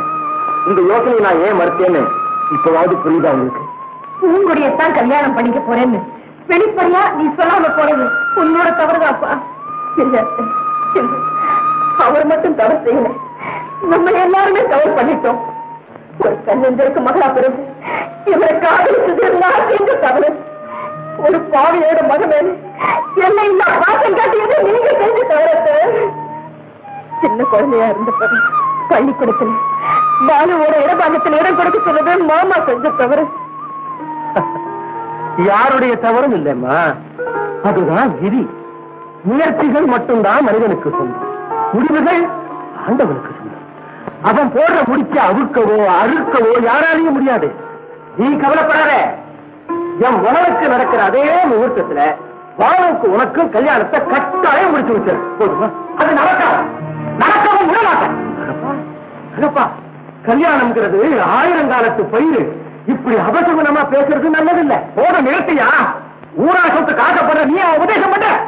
ஓஹோ உன் பையங்க படிப்புக்காக நான் கடன் கொடுத்த பணத்தை அப்படியே வரதட்சணை கணக்குல அட்ஜஸ்ட் பண்ணிக்கலாம் பாக்குறியா? நாம பட்ட மரங்கள் நம்ம பகை பசு மரங்களை பாதிச்சிட வேண்டாம். வாழ முடியா மரியாதையா பூங்குடியங்க அனுப்ப போறியா? இல்ல கம்பி என்ன போறியா? என்னால வற்புறுத்த முடியாது. வந்தா நீங்களே அழைச்சிட்டு போங்க.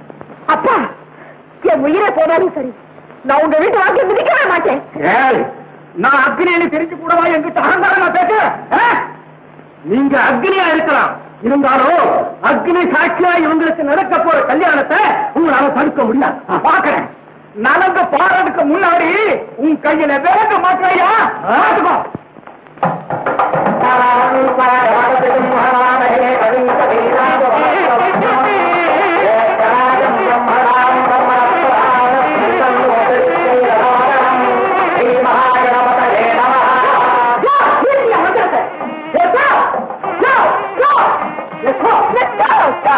என் முழு பேரு சோனாசலம் அதுல என்ன செல்ல வச்சா வச்சா வேண்டி இருக்கு இன்னமும் இந்த திணைப்புலத்துல ஆலோசனை ஓட்டின மாதிரி மனசுக்குள்ள இந்த பெரிய ஸ்ரீவள்ளி நினைப்பா. ஆமா இந்த கொக்கு உரிமை இருக்கு நான் விரட்டிக்கிட்டு இருக்கணும் எங்க ஐயா வரதட்சணை வரதட்சணை தானே வரும். வரலையே எப்போ வரும் ஐயோ, ஒரு ஸ்ரீ சுந்தரா போச்சு இது. இந்த அசைவாங்கியில் அந்நிய பதார்த்தம் மாட்டின மாதிரி நல்லா மாட்டேன்ட்டேன். இந்த காசை வெட்டினா தான் அவன் தாலிய கட்டுவான் பையன்.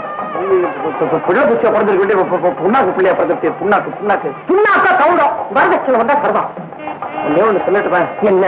இது மட்டும் கல்யாண வீடா இல்லைன்னா என் மனசார உண்மை கட்டேல போகன்னு சபிச்சிருப்பேன் தரித்திரம் தரித்திரம் என்ன? ஒண்ணு இல்ல. எல்லாம் அந்த வரதட்சணை விஷயம் தான் ரெண்டாயிரம் ரூபாய் கொடு ரெண்டாயிரம் ரூபாய் கொடுன்னு அந்த புண்ணாக்கு இல்ல? அவன் என்ன தேன் மாதிரி கொட்டின்டே இருக்கான். பணத்துக்கு தான் வேற ஏதோ ஏற்பாடு பண்ணிட்டு தான் சொல்லுங்களா சார் சொன்னேன். வாக்குறுதியை கொடுத்துட்டு இப்ப மாட்டிட்டு ஒழிக்கிறேன் என் திட்டம் எல்லாம் பறந்து போயிடுத்து காசு கொடுக்கலன்னா கல்யாணம் நடக்காது போல் இருக்கு. பணத்தை கூடிய சீக்கிரம் கொடுத்துறோம்னு சொல்லி உள்ள விட்டார கொஞ்சம் சமாதானப்படுத்துங்க. தயவு செஞ்சு எங்களுக்காக இந்த உதவி செய்யுங்களேன். நான் என்னால முடிஞ்ச வரைக்கும் சொல்லி பார்த்துட்டேன். ஒண்ணும் நடக்கல. அது கேட்காது. தரித்திரம் புண்ணா கேட்டேன் இந்த ஆபத்துல இருந்து இப்ப எப்படி விடுபடுறது? இந்த கல்யாணம் நடக்கணும்னா இந்த வீட்டை அடமானம் வைக்கிறத தவிர தற்போதைக்கு வேற வழியே இல்லைங்க. அனுமானம் வைக்கிறதா? இந்த வீட்டையா? ஆமா இந்த வீட்டுதான். பின்ன என்ன நம்மளால பக்கத்து வீட்டை அடமானம் வைக்க முடியும்? இத பாருங்க சன்மானம் பறி போகிறத விட அடமானம் வச்சா தப்பு இல்லை. புறப்படுங்க. தாமதம் பண்ணாதீங்க. சீக்கிரம் புறப்படுங்க. மாஸ்டர்ஜி இந்த பத்திரத்தில் படிச்சு பார்த்துட்டு கையெழுத்து போடுங்க.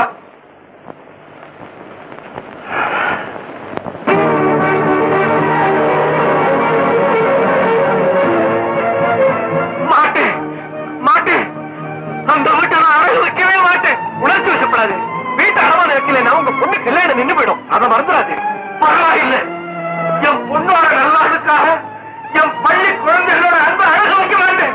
அழகு வைக்க மாட்டேன்.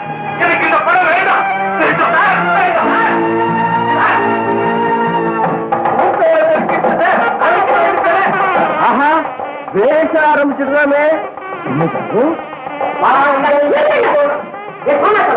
என்ன இருக்கோம் அந்த பணத்துக்கு போனோம் எழுதி கொடுத்துட சொல்றேன். கொழுத்த வட்டியா போட்டுக்கலாம். குழப்பம் பண்ணாதே. ஐயா கவன முறையில பணம் வாங்க. என் பையனை என்ன டிரான்சிஸ்டர் ரேடியோ நினைச்சீரா உங்க பையனை போய் ரேடியோன்னு சொல்லுவேனா? ரேடியோ சில சமயத்துல புத்திசாலித்தனமா நாலு வார்த்தை பேசிடுவேன். முடியாது. முடியாதா? வெட்டுவேன். காலு மறுத்து போயிருந்து ஏன் இப்படி வாய் வாழ்னு கத்துறீங்க காலு மறுத்து போற மாப்பிளைக்கு ரெண்டாயிரம் ரூபாய் வருது? ரேட்ட குறையும். ஐநூறு ரூபாய் கொடுப்போம் பேசாம இருங்க. கல்யாணம் வாத்தியாரே, இந்த கல்யாணத்தை நிறுத்தியா ஹை நம்ம கல்யாணத்துக்கு போலீஸ் வந்துருது. குட் மார்னிங் சார் கல்யாணத்தை ஏன் இருக்கணும் என்னுடைய விருப்பம் இல்லாம இந்த கல்யாணம் நடக்கக்கூடாது என்பது சட்டம். என்னோட விருப்பப்படி இந்த கல்யாணத்தை பண்ணி அனுமதிச்சு இருக்கிறதோ அதே சட்டம் தான். சபை உத்தரவோட வந்திருக்கிறேன். தடுக்கலாம். எனக்கு வயசு எட்டா இருந்தா இப்போ எனக்கு வயசு பதினெட்டு. என்ன சொன்ன? சட்டம் உங்களுக்கு தெரியாம இருக்கலாம். அவர் சட்டத்தின் பிரதிநிதியாச்சு. அவருக்கு தெரியும். அந்த பொண்ணு சொல்றது ரொம்ப கரெக்ட் விரும்புறத கல்யாணம் செஞ்சுக்க உங்க பொண்ணுக்கு பூர்ண உரிமை உண்டு. அதெல்லாம் இருக்கட்டும் சார் முதல்ல இவங்க அத்தனை பேரை அரெஸ்ட் பண்ணுங்க சார் கல்யாணம் நடக்கட்டும். முத்தாப்பா மோனே நாட்டு வரலடா. கட்டாதாடா தாலியே. கம்முனு இல்ல நீ கருப்பு பணம் கேட்டன்னு இன்ஸ்பெக்டர் கிட்ட சொல்லுவேன். சார். கட்டா? கட்டா கிட்ட வேணும் கிட்ட வேணும்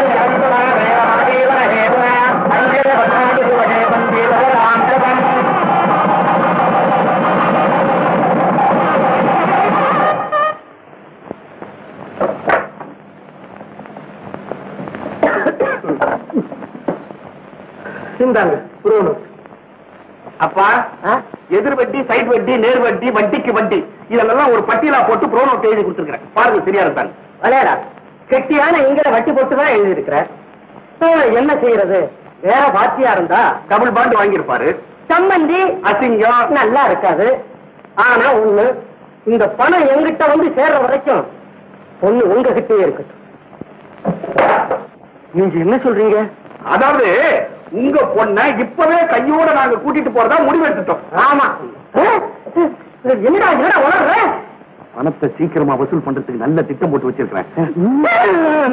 பொண்ணு எங்களோட அழைச்சிட்டு போறதா முடிவு பண்ணிருக்காங்க ஆஹா ரொம்ப சந்தோஷங்க. உங்க நாட்டு பொண்ணா உங்க வீட்டுக்கு கூட்டிட்டு போறது நல்ல முறை. அதுல எனக்கு என்ன தடை? நல்லா செய்யுங்க. என்னடா புத்தம் அது இல்லப்பா.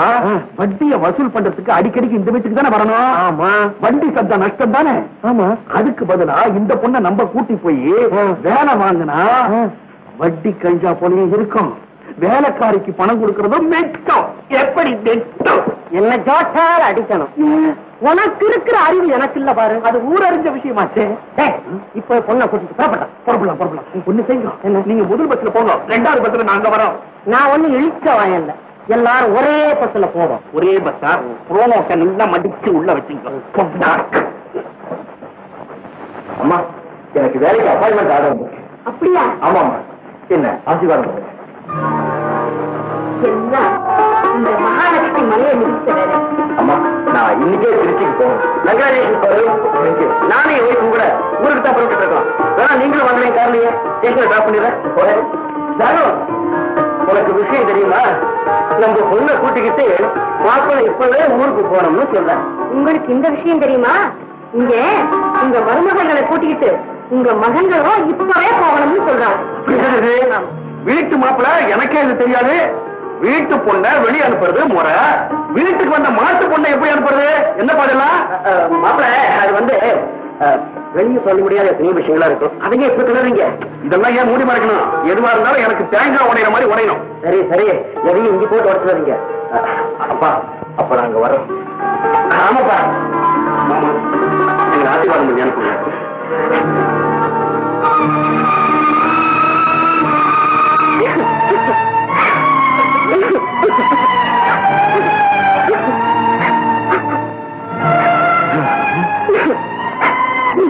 நீங்க வாழ்ற நிறைஞ்சிருந்த வீடு. எப்படி விரிச்சுகளோட கிடக்கு பார்த்தீங்களா?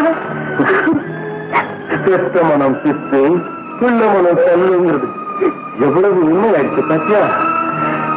சிறகு மனச பருவீங்க பறந்து போயிடுச்சு. அந்த சிறகு இங்க பருவீங்க நாம ரெண்டு பேரும் தான். இதே பழைய கூட்டுல முடங்கி கிடக்க வேண்டியது. பறந்து போன குழந்தைங்களை பத்தி பாத்தியா?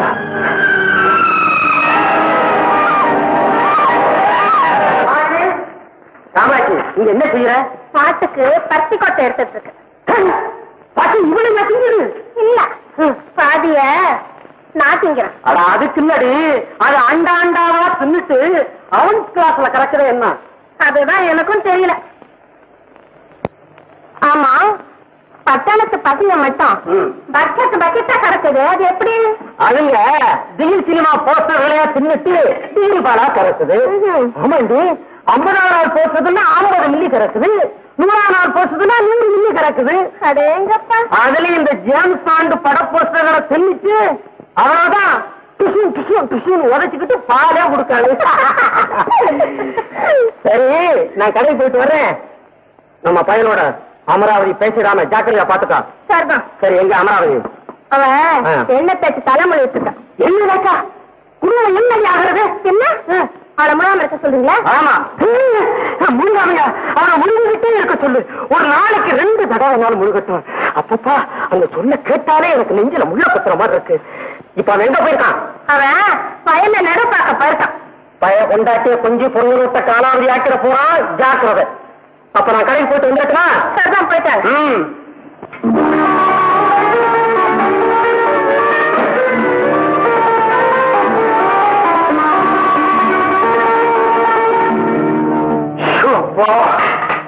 மடியோ சீக்கிரமா சோத்த போடு வயிற்றுல பசி.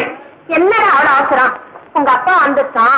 ரெண்டு பேரும் ஒன்னாவே உட்காந்து சாப்பிடலாம். ஆமா அப்புறம் கொண்டே ஒன்னா உட்கார்ந்து சாப்பிடுற அளவுக்கு என்ன அப்படி விசேஷம்? இன்னைக்கு உனக்கு பிறந்த நாள்டா. எனக்கு பிறந்த நாளா? ஆமா. இந்த பாழா போன அப்பனுக்கு நான் பிள்ளையா பிறந்த துக்க நாளா? ஏன்டா இப்படி எல்லாம் சொல்ற? பின்ன கட்டின பொண்டாட்டிய கண்ணார பார்க்க விடாம கழுகு மாதிரியா காவல் காத்துட்டு இருக்காரு. அந்த ராட்சசனா எனக்கு அப்பன் மே- என்னடா? சொல்லுண்டா. இந்த நல்ல நாள்லயாவது பொண்டாட்டி கையால சாப்பிடுறம்மா. நானாடா வேண்டாங்கிறேன் உங்க அப்பா தான் உன் கொண்டாட்டி சிரிச்சாலும் கவனோட்ட கிழிஞ்சு போகுங்கிறாரு சரி சரி இலைய போட்டு எதையாவது கொட்டுமா துண்ணு தொலைக்கிறேன் என் வயிற்றுச்சல் எங்க அப்பாவுக்கு எங்க தெரிய போகுது அந்த ஆளுக்கு புண்ணாக்கு கடை தான் பொண்டாட்டி வட்டி கடை தான் வப்பாட்டி ஐயையோ, பட்டி, பட்டி,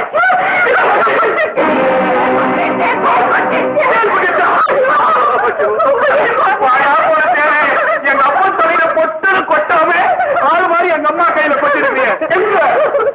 என்னங்க அப்பா கேட்க பிடிச்சா மாமாவை கொட்டலைங்கிறியா? ராத்திரிக்கு கொட்டு பெரிய தேள் என்னடா பேசிக்கிறதுக்கு? ஓடி போய் மாதிரி தண்ணி கூட்டிட்டு வரா அம்மா மறந்து போச்சு. மாரிசாமி மாமியார் வீட்டுக்கு போயிட்டான்.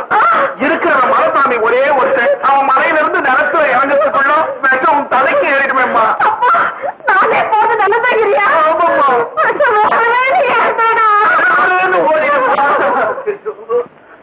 சேல் ரூபத்தில் வந்த தெய்வமே. உன் உதவியை நான் நிச்சயமா என்னைக்கும் மறக்க மாட்டேன். தச அவதாரம் எடுத்த ஆண்டவன் இன்னைக்கு நமக்காக தேர் அவதாரம் எடுத்திருக்கிறாரு. எனக்கு மட்டும் பண வசதி இருந்தா உன் கொடுக்குக்கு கோயில் கட்டி அதுல படுக்கு படுக்குன்னு உழுந்து நான் கும்பிடுவேன். ஐயோ எங்க அப்பா வர்றதுக்குள்ள இந்த தங்க கையால சீக்கிரமா சாப்பாடு போட்டுடு எங்க வாழல? தலைவாழல தானே? சரி. பாபா சீக்கிரம் வா ராட்சச பசி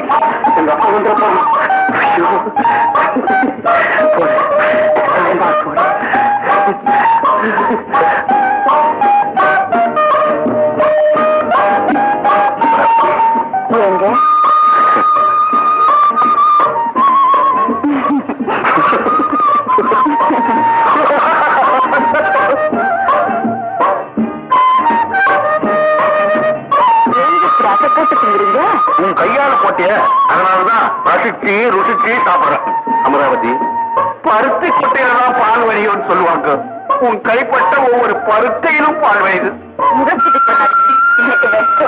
முகஸ்பதி இல்ல. மோகஸ்பதி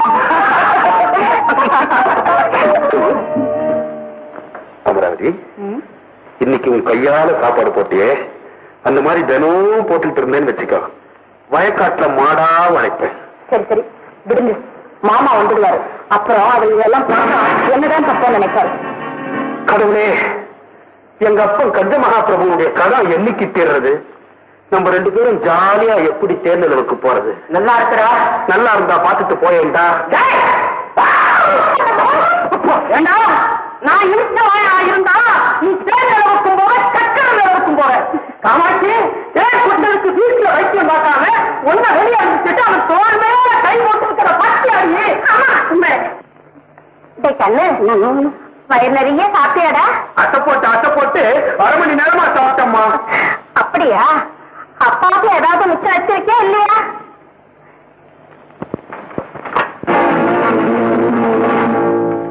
என்ன இது வடிச்சு போறாம அப்படியே இருக்குது?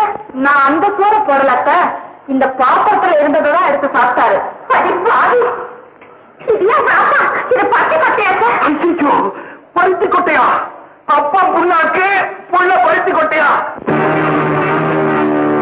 அன்புமிக்க தலைமையாசிரியர் ஞான சம்பந்தம் அவர்களே அன்புமிக்க மாணவர்களே ஓலை குடிசையிலே முடங்கி கிடந்த இந்த பஞ்சாயத்து பள்ளி ஞான சம்பந்தம் அவர்களின் உழைப்பின் சின்னமாய் உயர்நிலை பள்ளியாய் உயர்ந்து நிற்கிறது. அந்த பொன்னுள்ளம் என்றும் பொலிவோடு திகழ பரம்பொருளை பிரார்த்திக்கிறேன்.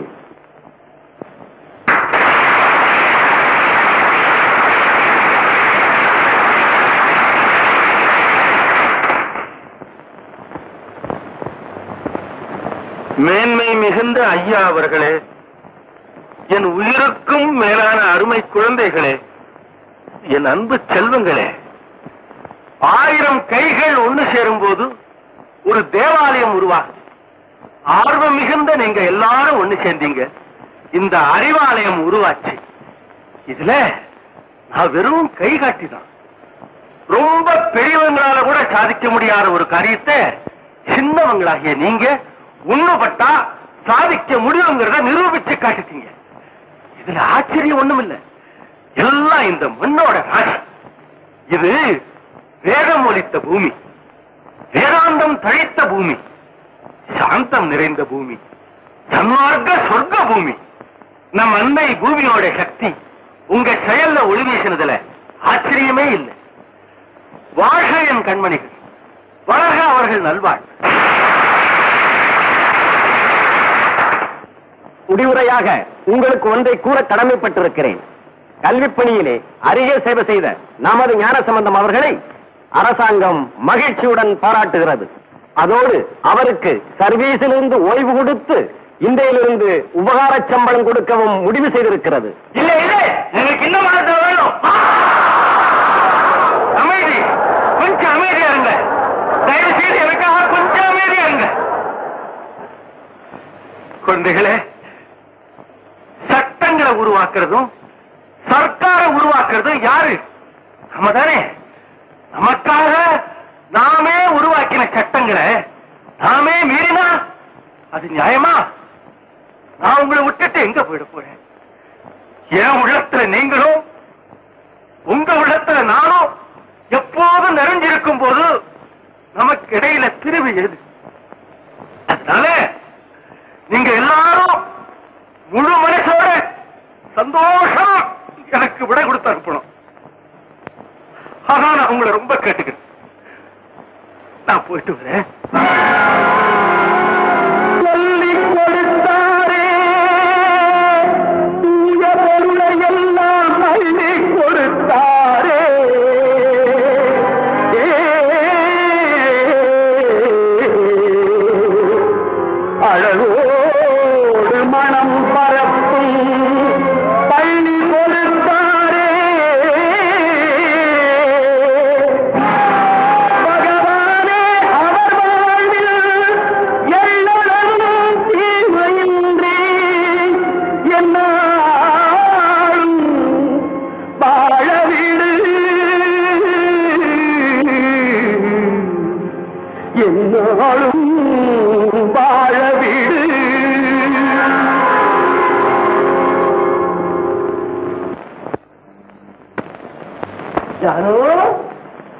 ஜானு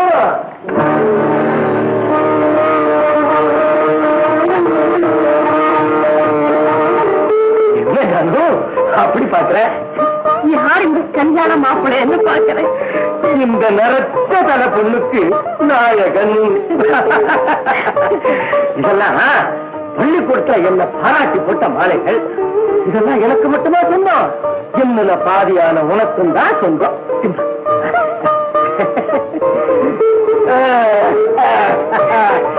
அடேடப்பா என்னமா கணக்குது? வெறும் பூமாலையா இருந்தா லேசா இருக்கும். இது புகழ் மாலையாச்சே கனமா தாமா இருக்கும் இந்த கோலமா திருவிழா நடத்த வந்தீங்க அந்த கோலத்தை பார்க்கத்தான் நீ வரலையே.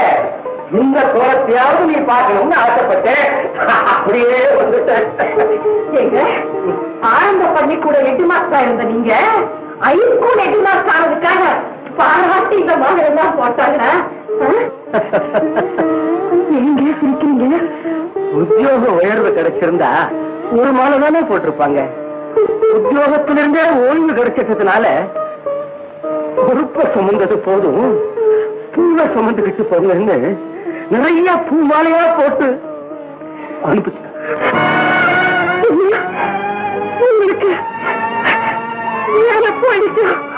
வேலையும் போயிடுச்சு. அதோட வருமானமும் போயிடுச்சு. ஆனா வெகுமானம் வரும். பென்ஷன்கிற பேர்ல. முழு சம்பளம் வரும்போதே மூச்சு கிணறுமே கொஞ்சம் சம்பளத்தை வச்சுக்கிட்டு எப்படி பொழைக்க முடியும்? பட்டுக்கடனை எப்படி அடைக்க முடியும்?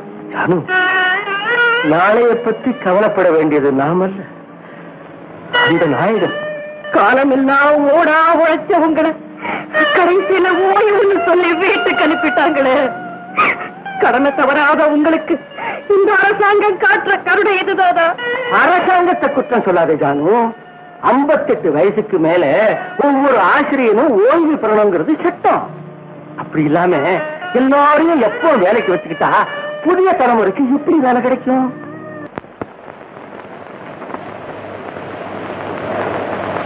என்னங்க? வந்திருக்கு போல இருக்கே. பெரிய பிள்ளை கிட்ட இருந்தா? சின்ன பிள்ளை கிட்ட இருந்தா? நம்ம பிள்ளைங்க கிட்ட இருந்து இல்ல ஜானு நாகப்ப பிள்ளை கிட்ட இருந்து வந்திருக்கு. வக்கீல் நோட்டீஸ். வக்கீல் நோட்டீஸா. நான் கொடுத்த பணத்தை வட்டியோட திருப்பி கொடுக்கறியா? இல்ல இந்த வீட்டை ஏலம் போட்டு வசூல் ஜானு சம்மதிச்சு தானே வாங்கணும். இருக்கிற இந்த நலனையும் இழந்துட்டு நாம என்னங்க செய்ய போறோம்? கேவலம் நத்தைக்கு கூட ஒதுங்க ஒரு ஓடு இருக்கு. நமக்கு அது கூட இல்லாம போயிட ஜானு வில்லு வில்லு அழறதுனால விதி மறட போறது இல்ல தான் எழுத எழுத்து எங்கே கண்ணீர் பட்டு அழிஞ்சிருமோன்னு தான் ஆண்டவனது தலைமையில எழுதி என்னங்க? இளமைய விளக்கி நம்ம புள்ளிங்களுக்கு எழுதுங்க உடனே வந்து ஆக வேண்டியதை செய்வாங்க பைத்தியம் பைத்தியம். நம்ம நிழல்ல நாமே வெயிலுக்கு ஒதுங்கிறது எப்படி சாத்தியம் இல்லையோ? அது மாதிரி நம்ம பிள்ளைங்களால நாமே பயனடைறதும் சாத்தியம் இல்லை. ஏன் அப்படி சொல்றீங்க? பெத்த தாயும் தகப்பனும் சௌக்கியமா இருக்காங்களான்னு கேட்டு கருதாசு போட பத்து காட்சி செலவழிக்க தயங்குற நம்ம பசங்க எப்படிமா இவ்வளவு பெரிய சுமையை தாங்கிட்டு வருவாங்க? பழத்தை எல்லாம் நினைக்காம தயவு செஞ்சு எழுதுங்களேன். எழுதுறது மட்டும் என்ன ஜானும் கையாண்டு பிச்சை கேட்க கூட நான் தயார். பொது காரியங்களுக்கு மட்டும். ஆனா பெத்த பிள்ளையா இருந்தா கூட சொந்த காரியத்துக்கு கையேந்த மாட்டேன். நீங்க ஒண்ணு எழுத வேண்டாம். நானே எழுதுறேன். நீ எழுத போறியா? நாங்கிற அச்சரை கூட தெரியாத நீ எப்படிமா லெட்டர் எழுத போற? அதனால என்ன? சோழாத்தனத்தை விட்டு எழுத சொல்றேன். சரி உன் தயவு செய்து பறக்காமல் மறக்காமல் விருந்துக்கு இரண்டு நாள் முன்னதாகவே வந்து சேரவும். ஏ காமாட்சி அந்த மாஸ்டர் மருமனுக்கு விருந்து வைக்க கூப்பிடலடி. மருந்து வைக்க கூப்பிடுறான். பசிய மருந்து. வாய மூடு. அவனை வாசிக்க விடுங்க. வாசிடா. தோடியும் கல்யாணியும். இப்பதான்ப்பா முக்கியமான வாசிப்பே வருது. வாசிடா. சென்னையிலிருந்து பாலுவும் திருச்சியிலிருந்து சரவணனும் கூட வருகிறார்கள். வீட்டு விஷயமாக முடிவெடுக்கவே அனைவரும் ஒன்று கூடுகிறோம். இப்படிக்கு ஜானகி அம்மாள். வீட்டு விஷயம்னா பேரண்ணா வீடு பழசா போச்சு இல்லையா? அதை வித்து பையன்களுக்கு பங்கு போட்டு கொடுக்கறதுக்காக இருக்கோம். என் புரோகத்துக்கு அது அந்த புரோனோட்ல காத்தாடி செஞ்சு வால் கட்டி. மாஞ்சா போட்டு வானத்துல புறக்க விட வேண்டியதானா? பொருட்க விடுவதோ கொண்டாங்க பார்த்த புரோனோட்டை அங்க போய் வட்டிய முதல்ல ரூபாய் ரெண்டாயிரத்தை வசூல் பண்ணி உங்க கல்லாப்பட்டியில வைக்கிற உங்க புள்ள நான் இல்லப்பா. செய்யறா மோனே. என் கண்ணு ராசா என்ன போடா பருத்தி கொட்டை. போயிட்டு வரான்றேன் ரெண்டாயிரம் ரூபாய்க்கு மட்டும் வட்டி இல்லப்பா. ரெண்டு மாசமா நம்ம வீட்டுல உட்கார்ந்து சாப்பிட்டாலே இந்த குட்டி. அதுக்கு வட்டி. அப்புறம்? ஆக மொத்தத்துல அவங்க கிட்ட சட்டியை கொடுத்துட்டு மிச்சத்தை நான் கொட்டிக்கிட்டு வந்துட்டு போறேன்ப்பா. பழையடா பிச்சை பத்தி புரோணத்தை எடுத்துக்கிட்டு பொண்டாட்டிய கூட்டிக்கிட்டு இப்ப போயிட்டு வரா அப்போ என்னடா? ஆசீர்வாதம் பண்ணுங்கம்மா. சரிடா மகனே வெட்டியோடு வா. அது ஒரு வட்டியுடன் வா. அமராவதி. அம்பிகாவதி. ஒரு முக்கியமான சமாச்சாரம். விருந்தின மயங்கிடாதடா. ஏற்கனவே நீ காப்பாற்றாமல்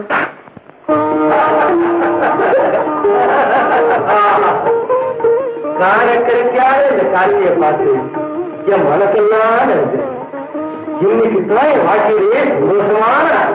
ம், சாப்பிடுங்க. எல்லாரும் திருப்தியா சந்தோஷமா சாப்பிடுங்க.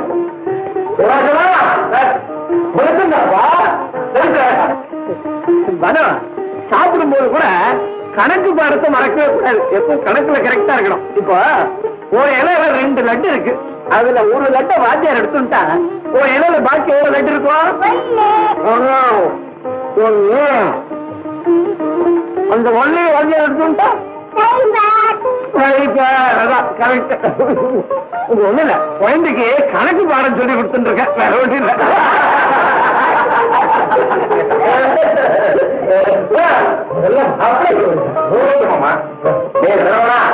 இந்த காலத்து நாளைக்கு என்ன தெரியுமா? இந்த மாதிரி வயசு பொண்ணுங்க உட்கார்ந்து சாப்பிடணும். வயசானவங்க பரிமாறணும். இந்த மாதிரி வயசானவங்க சொன்னாலே என்ன மாதிரி சின்னவங்களுக்கு புரியும். குடும்பத்தை நானே பரிமாறேன் அந்தா உங்களுக்கு பழக்கம் இருக்காது நான் பரிமாறேன் வேண்டாம் வேண்டாம். நீங்க எல்லாம் இந்த வீட்டு மறுமழைங்க உட்காருங்க நான் பரிமாறேன் இப்படி எல்லாருமே பரிமாறிட்டு இருந்தா சாப்பிடுறது தான் யாரு? இல்லம்மா. உங்களை எல்லாம் இப்படி உட்கார வச்சு என் கையார மனமாற பரிமாறணும்னு நான் எவ்வளவு நேரம் ஆசைப்பட்டுக்கிட்டு இருந்தேன் தெரியுமா? நீங்க எல்லாரும் உட்காருங்க நானே பரிமாறேன். ம், உட்காருங்க. வேறு பேர், நோயாளிக்கு டாக்டர் சொன்னதும் பார்க்கிறதா? நோயாளி கேட்டதும் பார்க்கிறதா? வீட்டு வேலை செய்யத்தான் கொஞ்சம் நிமிடம் முடியல. ஏமா அட்லீஸ்ட் விருந்து சாப்பிடா கொஞ்சம் நிமிடமே பாருங்க கிண்டல் பண்றத. என்னடா கிண்டல் வெடி கிடக்கு ஓகே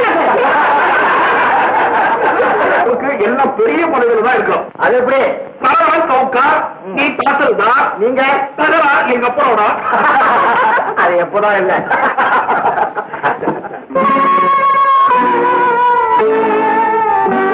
வாங்கம்மா உட்காருங்க. பரவாயில்லப்பா. நீ உட்காரு பரவாயில்ல உட்காருங்கம்மா. உட்காருங்கம்மா. ஏம்மா என்னமோ வீட்டு விஷயமா பேசணும்னு எழுதிருந்தீங்க. என்னம்மா அது? புதுசா நான் என்னப்பா சொல்ல போறேன்? எல்லாம் உங்களுக்கு தெரிஞ்சிருந்தானே நீங்க படிக்கிறதுக்காக வாங்கின பணத்தை இன்னும் திருப்பி கொடுக்கலன்னு. நாகப்பா இந்த வீட்டை ஏலத்துக்கு கொண்டு வந்துடுவேன்னு நோட்டீஸ் விட்டுருக்க தங்கச்சி கல்யாணத்துல கொடுக்க வேண்டிய வரதட்சணை பணத்தையும் இன்னும் கொடுக்க முடியல. வயிற்று கழுவவே போதாத உதவி பணத்துல வாங்கின கடமை எப்படி அடைக்க முடியும்? அதனால நீங்க ரெண்டு பேரும் பெரிய மனசு பண்ணி பணம் போட்டு பட்ட கடனை அடைச்சு இந்த வீட்டை காப்பாற்றணும்ங்கிறதுதான் உங்க அப்பாவோட விருப்பம். அதனால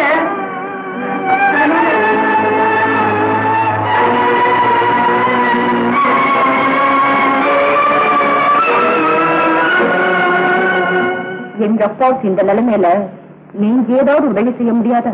உதவி. நானா? ஒண்ணு செய்யலாம். வரதட்சணை பணத்தை பெற்றுக் கொண்டேன்ட்டு நானே கையெழுத்து போட்டு ஒரு ரசீது கொடுத்துட்டுமா? வேற ஏதாவது நல்ல யோசனையா சொல்லுங்க. எங்க அப்பா இதுக்கெல்லாம் சம்மதிக்க மாட்டார். உங்க அப்பனை பத்தியே நீ கவலைப்படுறத தவிர எங்க அப்பா புண்ணாக்க பத்தி நீ நினைச்சியா? இந்த வீடு இந்த நிலைமையில இருக்குதுன்ற செய்தி அவர் காதுக்கு போச்சுன்னா லபோ லபோ லபோன்னு வாயில அடிச்சுன்னு தூக்கல தொங்குவான். வரதட்சணை பணத்தை எப்படி வசூல் பண்றதுன்றதுக்கு எனக்கு ஒரு நல்ல யோசனை வந்துருச்சு. என்ன யோசனைங்க? சொல்றேன். நமக்கு எதுக்கு இந்த வீடு? நம்ம என்ன பட்டி கட்டியே இருக்க போறோமா என்ன? வீடு ஏலம் போனா போயிட்டு போகுது. சரி. அப்புறம் அம்மா அப்பா எங்க இருப்பாங்க? அவங்க இங்க இருக்கணும் என்ன இருக்கு? ரெண்டு பிள்ளைங்க இருக்கீங்களே. ஒருத்தர் அம்மாவையும் ஒருத்தர் அப்பாவையும் எடுத்துட்டு போக வேண்டியதானே கரெக்ட் எனக்கு அதான் சரி தோணுது. போனா போகட்டுமே. இந்த வீடு ஏலம் போனா குடியா முடிய போயிடும். ரொம்ப சுலபமா சொல்லிட்டீங்களே. மாமாவும் அத்தையும் தெருவில் நினைப்பாங்க அதுக்காக ஊர்ல நாம வாங்கியிருக்க வீட்டுக்கே பாதி கொடுக்க வேண்டியிருக்கு. இதுக்கு பணம் நான் எங்க போறது? என்ன பாலு? என்ன முடிவு பண்ணிருக்க? எங்கிட்ட எது பாப்பணும் என்னன்னு அதேதான்ப்பா. ஆ? எனக்கு ஒரு ஐடியா தோணுது. அம்மாவை நான் கூட்டிட்டு போயிடுறேன். நான் அப்பாவை கூட்டிட்டு போறேன். கரெக்டுப்பா கடங்கார வந்து நம்ம கழுத்து பிடிக்கிறது முன்னாடியே நாம பார்த்துடலாம்.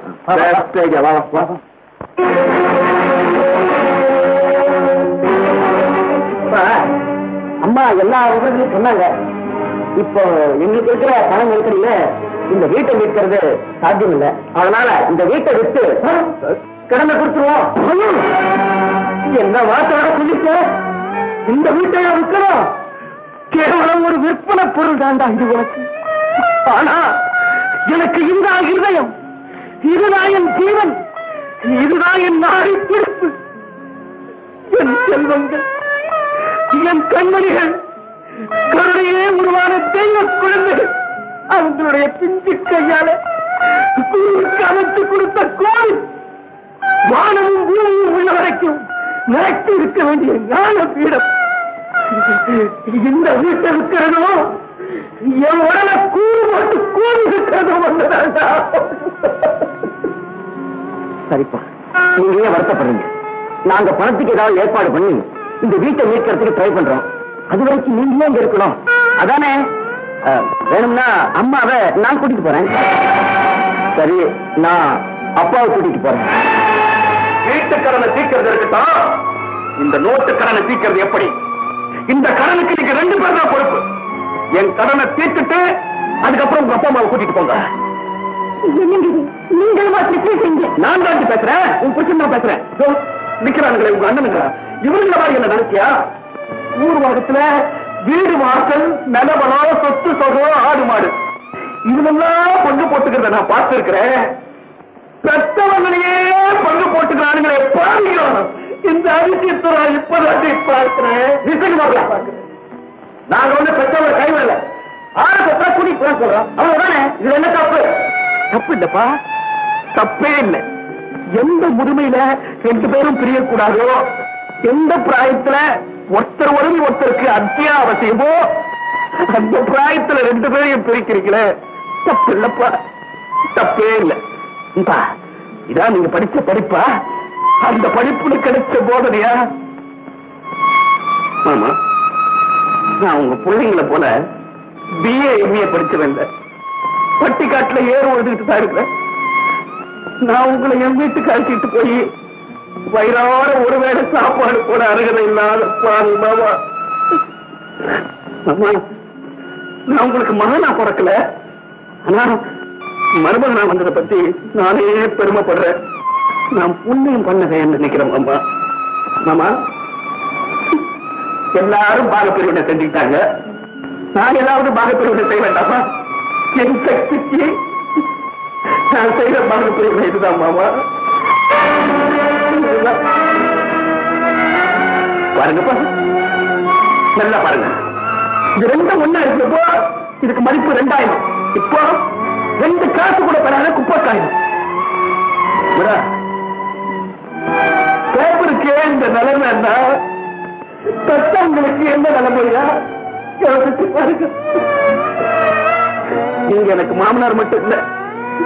உங்களை நான் தெய்வமா மதிக்கிறேன். உங்க பாதத்தை பூஜை செய்யறதுக்கு எங்கிட்ட மலர்கள் இல்ல. இதையே அர்ச்சனை புஷ்பங்களா நினைச்சு உங்க பாதங்கள்ல சொல்லி நமக்கு இருக்கு இந்த ஆசீர்வாதம் செய்யுங்க மாமா. வாங்கப்பா ட்ரெயினுக்கு நேரமாச்சு. அம்மா போலாமா?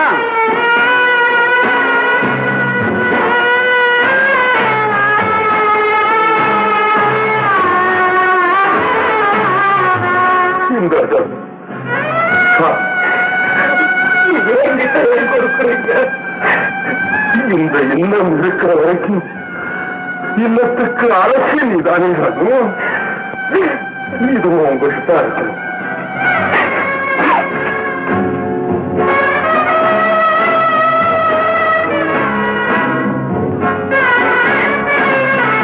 என்னங்க அடிக்கு ஒரு தரம் ஜானவன் ஜானவன் கூப்பிடுவீங்களே இனிமே யாரை கூப்பிட போறீங்க? தூங்க பொறுத்துக்கு முன்னாலே உங்க காலத்தை தொட்டு விட்டுட்டு படுத்தான் தூங்குவேன்னு சொல்லிட்டாங்க இனிமே நீ எப்படி தூங்க போற? மாமா நாங்க ஊருக்கு போயிட்டு வரோம் மாமா. நாங்க பொண்ணா போயிட்டு வரோம்ப்பா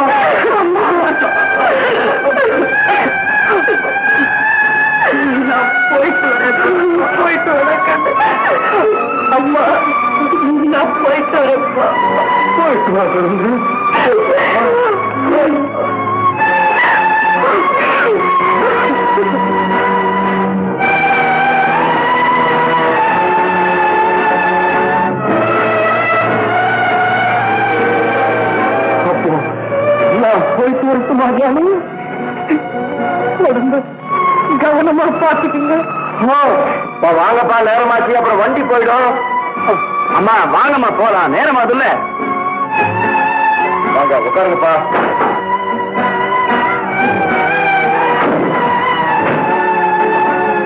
வண்டி எடு.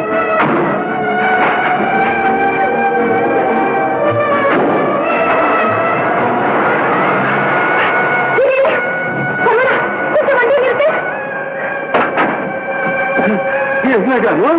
そうか。よく何でもらせてくれ。回ってみる。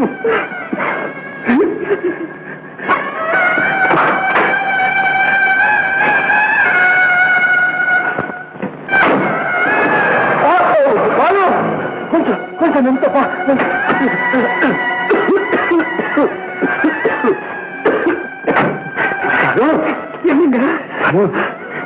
இந்த போர்வையை எடுத்துக்கிட்டு போ. நீங்க கிட்டே இருக்கட்டுங்க பணிவாடு உங்க உடம்புக்கு ஆகாதுமா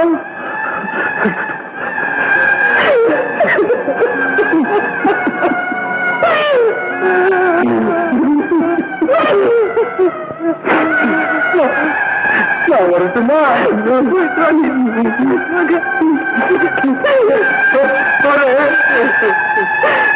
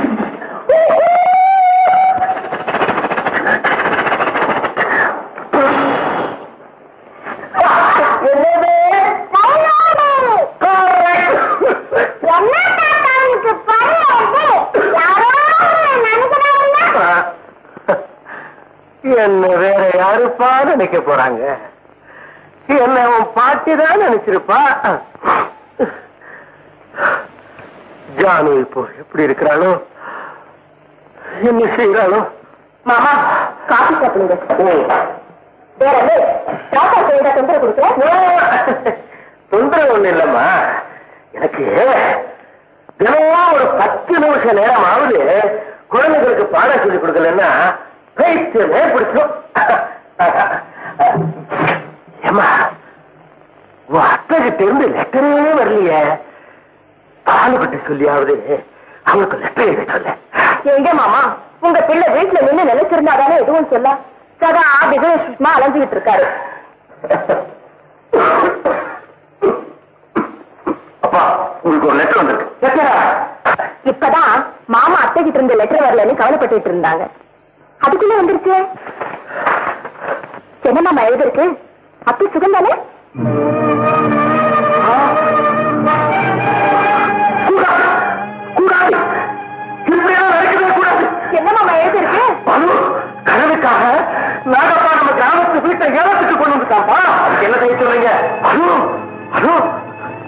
எப்படியாவது பணத்தை தோது பண்ணி வீட்டை மீட்கலாம்னு நீங்க நினைப்பா சொன்னீங்க சொன்னோம் சொன்னபடி செய்யணுமா என்ன?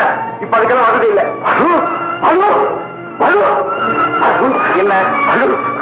உடனே பணத்தை கட்டலைன்னா நம்ம வீடு ஏலத்துக்கு போயிடும்பா. ஓட்டுவேன் அது என்ன பெரிய திருமண நாய்க்கு மகாலா இல்ல தாஜ் மகாலா போட்டும் போட்டும்.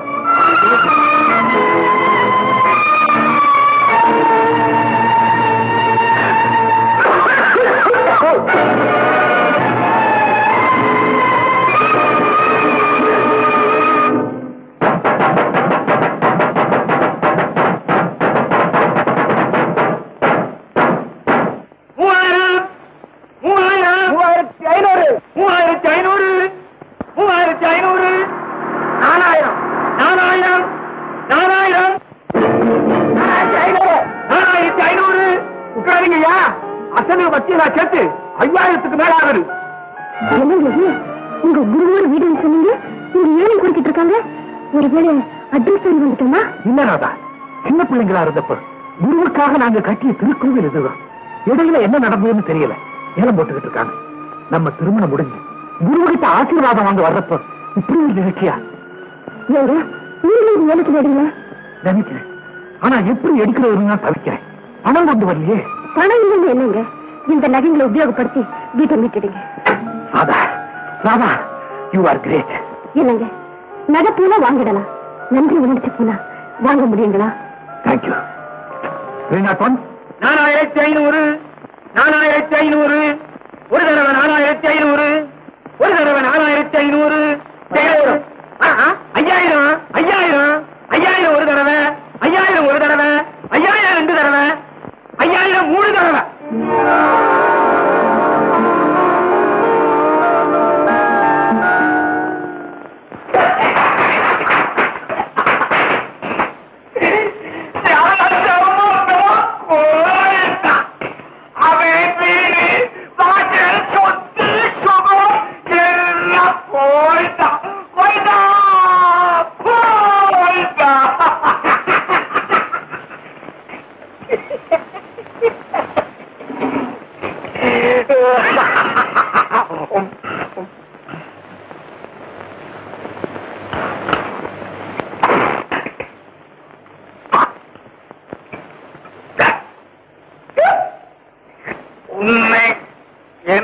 நான் தேடுறேன்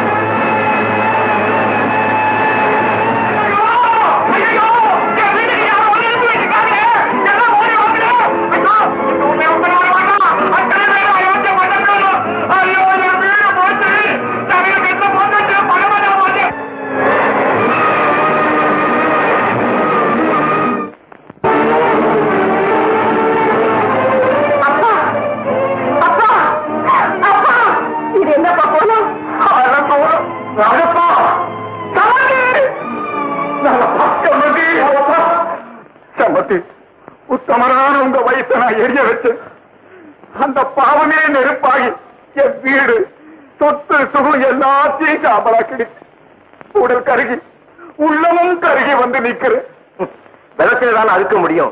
முள்ள விதைச்சிட்டு நெல்லையை அறுக்க முடியும். ஹலோ? அப்படி எல்லாம் சொல்லாரப்பா எந்த சோறும் வேதனைப்பட்ட மனசும் சூடு தாங்க. ஆயிரமே இருந்தாலும் அவர் யாரு? உன் மாமனார் இல்லையா? பொண்ணை கொடுக்கறதும் கண்ணை கொடுக்கறதும் ஒண்ணுதான்ப்பா. அப்பா தயவு செஞ்சு என்ன மன்னிச்சிடுங்க. இவர் மட்டும் இல்ல இவரோட போட்டோ கூட இந்த வீட்டுல இருக்க நான் அனுமதிக்க மாட்டேன். அனு உன் தாப்பனுக்கு இந்த வீட்டுல இருக்கிற உரிமை உன் மனைவியின் தாப்பனுக்கும் உண்டப்பா? நீ அவரை பேசுற மாதிரி பூம்படி என்ன தவறா பேசி இருந்தா உன் மனசு என்ன பாடுபடும்? அப்பா நீங்க பார்வைக்கு பழிவு காட்டுறீங்க அனு அனு பாம்புடைய விஷம் கூட பக்குவப்பட்டதும் மருந்தாகுது இல்லையா? அது மாதிரி பக்குவப்பட்டு வந்திருக்கிறவன் மாமனார புறக்கணிக்காதப்பா. அகப்பா அகப்பா. என் மகன் சின்ன பிள்ளை. தெரியாத ஏதேதோ பேசிட்டான். அவனை மன்னிச்சிருங்க. மன்னிச்சிருங்க இந்த வீட்டுல நம்ம ரெண்டு பேருக்கும் சம அந்தஸ்து என்னைக்கு உண்டு நகப்பா சமந்தி சமந்தி முளைக்கிறப்பவே மகிமையோட மனத்தோடு இருக்கிற துளசி மாதிரி. பிறகு பெரிய மனுஷன் பெரிய மனுஷன் தான்.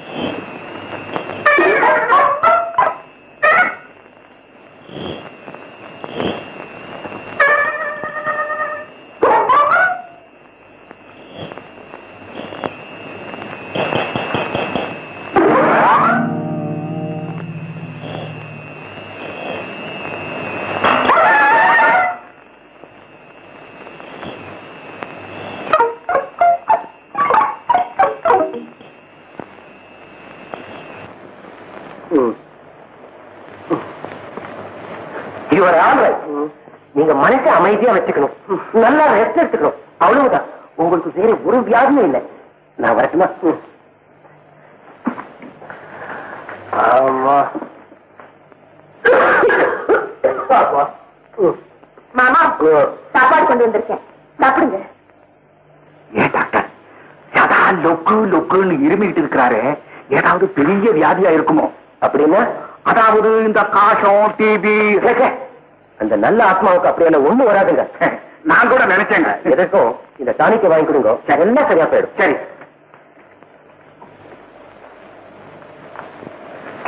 டானிக்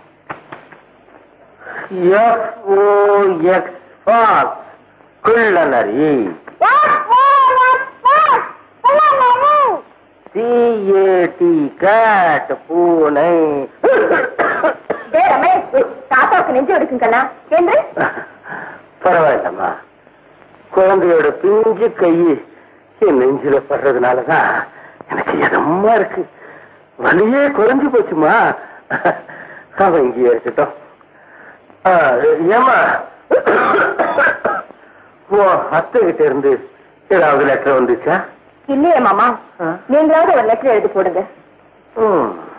சரி. நானே எழுதி போடுறேன்.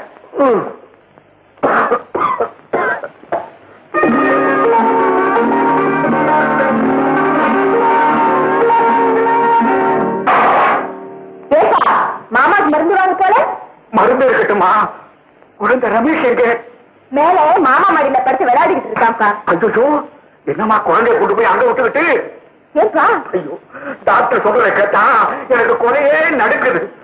ஆமா இந்த சட்டம்லாம் மாமா ஐயோ என்னப்பா இது? உனக்கு விஷயம் தெரியாது. அவனை தொடக்கூடாது. ஏப்பா? அவரே சாப்பிட்ட தட்டை தொடக்கூடாது. அவர் போட்ட துணியை எடுக்கக்கூடாது. அவருடைய எச்சிலே மிதிக்க கூடாது இன்னும் பச்சையா சொல்ல போனா அந்த ஆள் மேல பட்ட காத்தே நம்ம மேல படக்கூடாதும்மா. ஏன் அப்படி? அவருக்கு காயம். அதாவது டிபி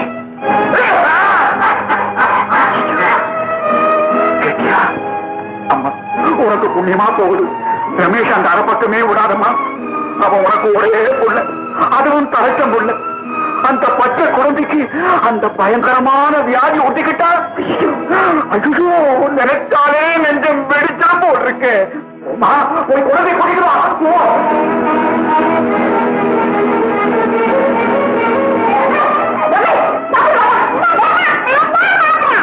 இங்கேயே கொண்டு வரேம்மா.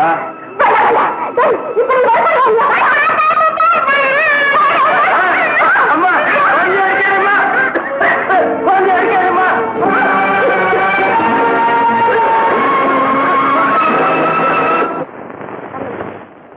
யாருங்க? ஆ, என்னாச்சு? இதோ வந்துட்டேம்மா. ஏன் லேட்டு? மன்னிச்சு வேற வேலைக்கு காஃபி டிஃபனும் இட்லியும் தோசையுமா வெட்டிக்கிட்டு இருந்தா? சுத்தமா வேலை செய்ய முடியும். கோச்சிக்காதீங்கம்மா. கூட வார்த்தைக்கு வார்த்தை எழுத்து பேசிக்கிட்டு. எல்லாம் இந்த பரவலை விட்டு போர்படுத்த பாடு. இனிமே இப்படி நடக்காது இந்தாங்க. நீங்க அந்த பல காசு எடுத்தா மாதிரி சித்தனாரி என்ன? கோயில் கொடுக்க மாட்டேன் அச்சாம நிக்கிறேன். சீக்கிரமா கிளீன் பண்ணு. சரிம்மா. கர்மம் கர்மம்.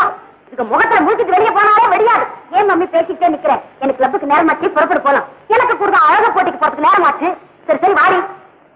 ஏண்டி லக்கா காட்டுற ஜிபிரால ஒழுங்கா புட்டியா வேலைக்காரி பூட்டை உடைச்சான்னு கால பத்திரிக்கை செய்தி வந்து தெரியுமா? சொல்ல முடியாது. தலை காய்ச்சதுங்க காசு பணத்தை முன்ன கண்டிருந்தா தானே? ஆட்டவ சுத்துற ஆண்டி அப்பான்னு உள்ள தோண்டிக்கிட்டு போயிடும். எல்லாம் பத்திரமா பூட்டி வச்சிருக்கு. நீ வாங்க போலாம்.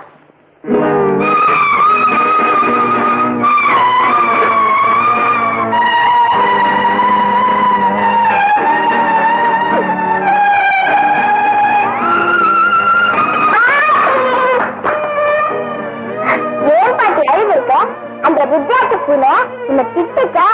ஏ வித்தியாச பூனை இரு இரு. உன்னை குத்து குத்து குத்து. நீ அழாத பாட்டி.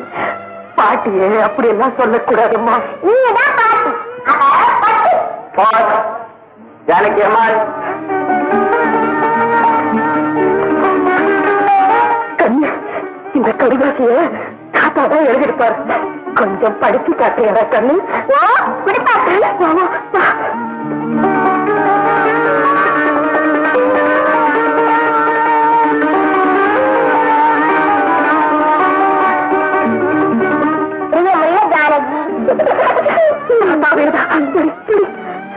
நான் நலம். இங்கே பாலு பூங்கொடி செல்வன் ரமேஷ் அனைவரும் நலமே. அங்கே உணவு நலக்கும் சரவணன் லதா செல்வாள் ஆகியோரின் நலத்தையும் அறிய ஆவல். உன்னிடமிருந்து கடிதம் வராததால் கவலைப்பட்டுக் கொண்டிருக்கிறேன். உடனே பதில் போடவும். இப்படிக்கு ஞான சம்பந்தம் தாத்தா பாவம் பாட்டி. உன் கடிதாசியை பார்க்காம காலையோட இருக்காரு. ஒரு லெட்டர் பார்த்தா என்னவா? நான் என்னம்மா செய்வேன்? உங்க அப்பா கிட்ட ஒவ்வொரு நாளும் தான் சொல்றேன். அவன் போட்டா சாரு ஏ நீ போடக்கூடாதா? நான் போட என் கையில காசு ஏதும்மா நான் காசு கேட்டேன் பாட்டி? ஒரு கார் வாங்கிட்டு வரேன். அதுக்குள்ள நீ லெட்டர் எழுதுவேன் ஏப்பரெல்லாம் அப்பா ஆபீஸ் ரூம்ல இருக்கு.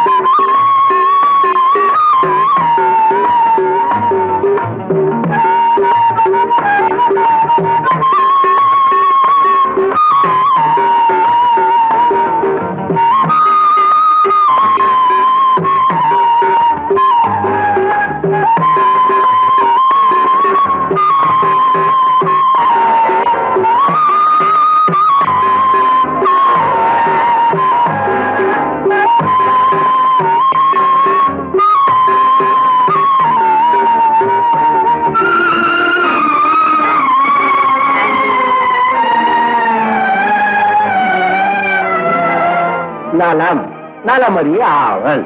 இப்படிக்கு உங்கள் அன்புள்ள ஜானு அப்படின்னு ஒரு சின்ன லெட்டராவது எழுதி தெரிய வேண்டாமா?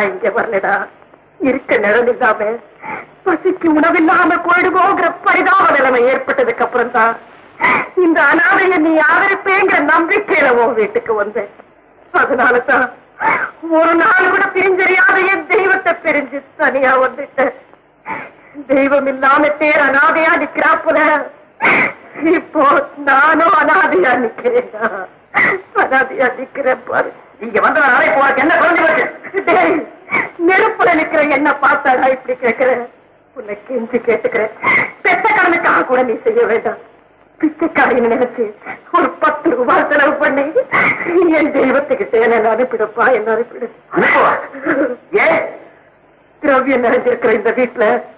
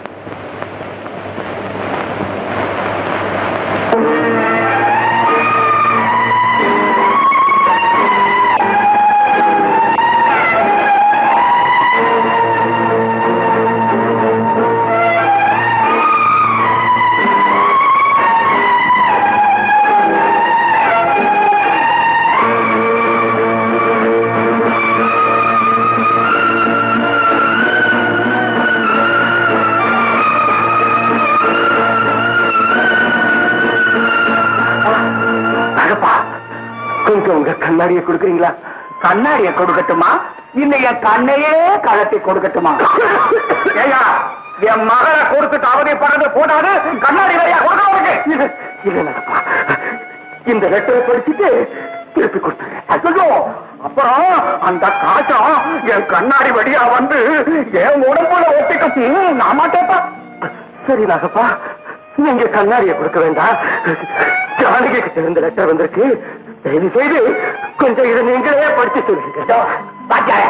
அடுத்தவன் கடுதாசிய படிக்கிறது அநாகரிகம். அதுலயும் பொண்டாட்டி புருஷனுக்கு எதிராக கடுதாசிய படிக்கிறது வடிகத்தில் அயோக்கியத்தனம். கேள்விப்பட்டிருக்கியா?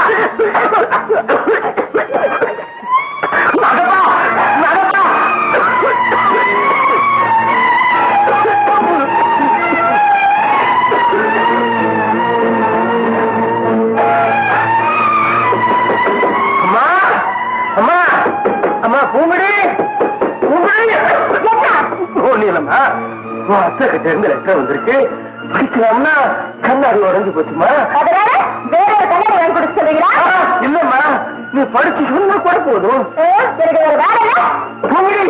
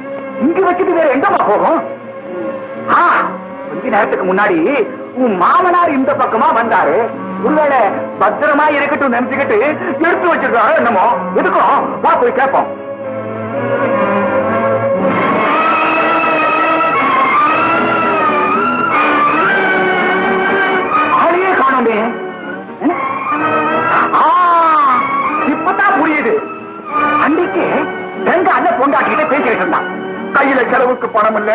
அதனால தான் உன்னை பார்க்க வர முடியலன்னு. நெக்லஸ் கிடைச்சதும் ரயில் செலவுக்கு ஆச்சுன்னு கம்பெனி மனுஷன் இப்ப என்னப்பா பயப்படாத. போலீஸ்ல ஒரு கம்ப்ளைண்ட் கொடுத்தா நகை நம்ம தேடி வருது. பாவா ஐயா திருச்சி எக்ஸ்பிரஸ் புறப்பட இன்னும் எவ்வளவு நேரம் இருக்கு? ரெண்டாவது அடிச்சாச்சு. சீக்கிரம் போங்க பெரியவரே சீக்கிரம் போங்க. போங்க.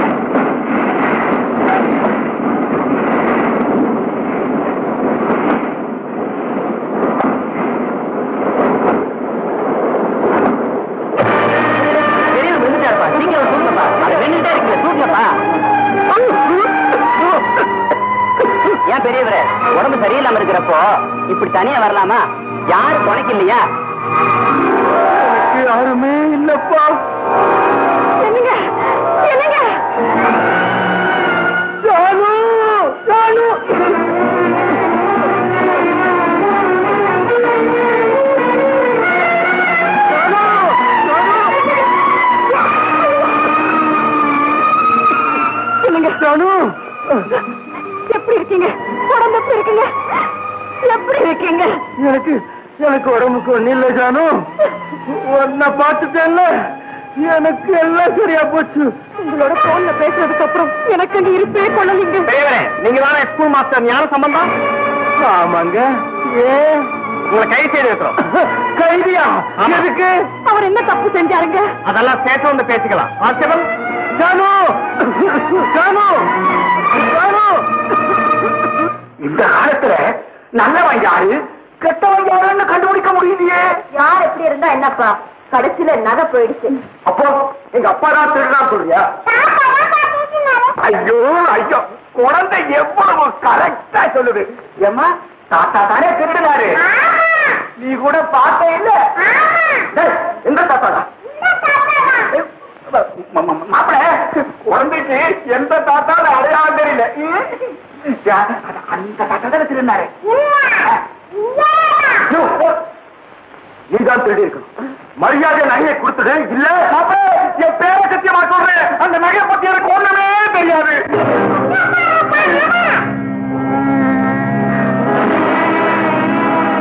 என்ன மன்னிச்சிடுங்க அப்பா உங்களுக்கு வெக்கமா இல்ல?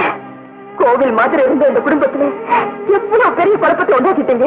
துரோகி பாம்புன்னு தெரிஞ்சு உனக்கு பரிவாட்டை எங்க அப்பாவையா திருடன் சொல்றேன். நல்லா இருக்கியா.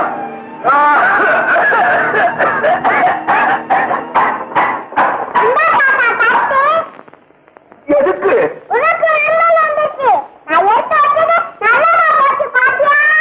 முதல்ல போலீஸ் ஸ்டேஷன் போன் பண்ணி கம்ப்ளைண்ட் கேன்சல் பண்ண சொல்லுங்க.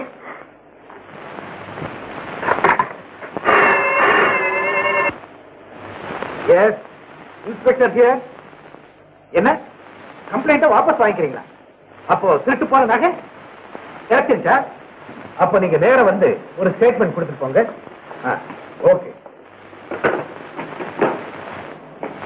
உங்க பேரு? ஞான சம்பந்தம்.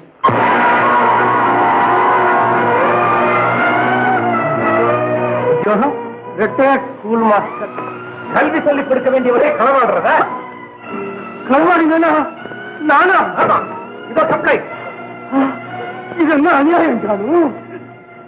நாங்க மனசறிஞ்சு ஈ எறும்புக்கு கூட ஒரு தீங்கு நினைச்சது இல்லைங்க அதனால எங்களை ஜானு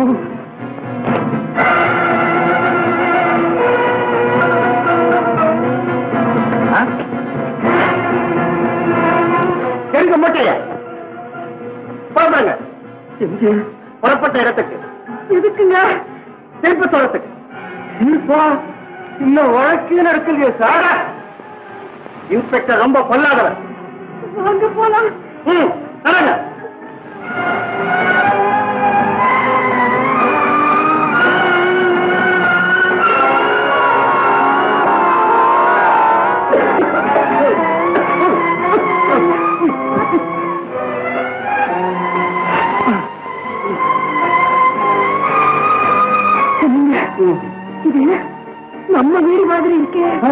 நம்ம வீடு மாதிரி இருக்கா.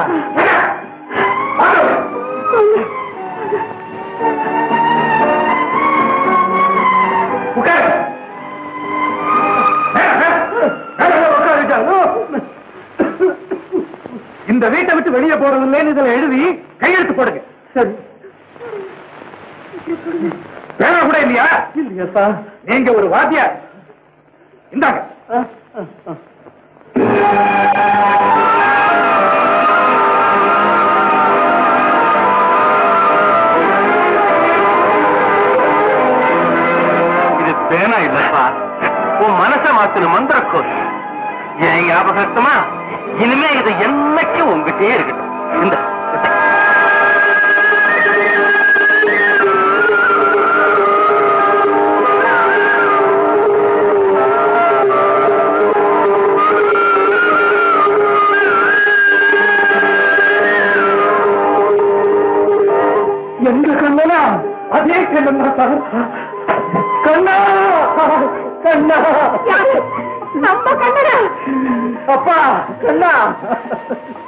கோகுலத்துல வெள்ளைய திருடின கண்ணன் தான் பின்னாடி போர்க்களத்தை கீதை உபதேசித்தா அந்த கீதை கண்ணனா தான் அவனை பார்த்து விரும்புறேன் அன்னைக்கு சொன்னீங்களே அதே கண்ணன் தான் சார்.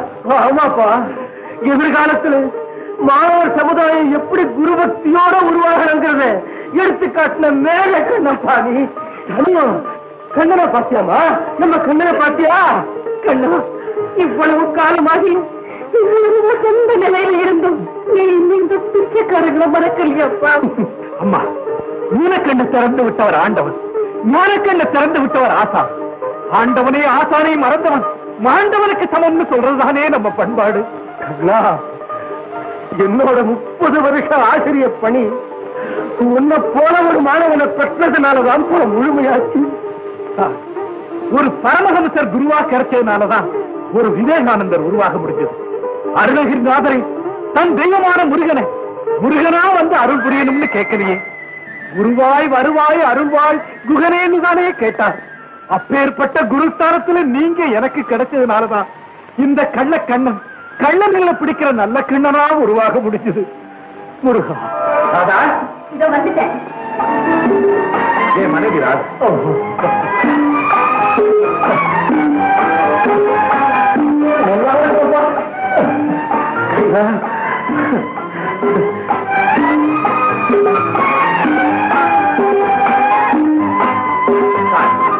அறியாமையால இவங்க செஞ்ச தவறுகளை மன்னிச்சிருக்கேன் சார்.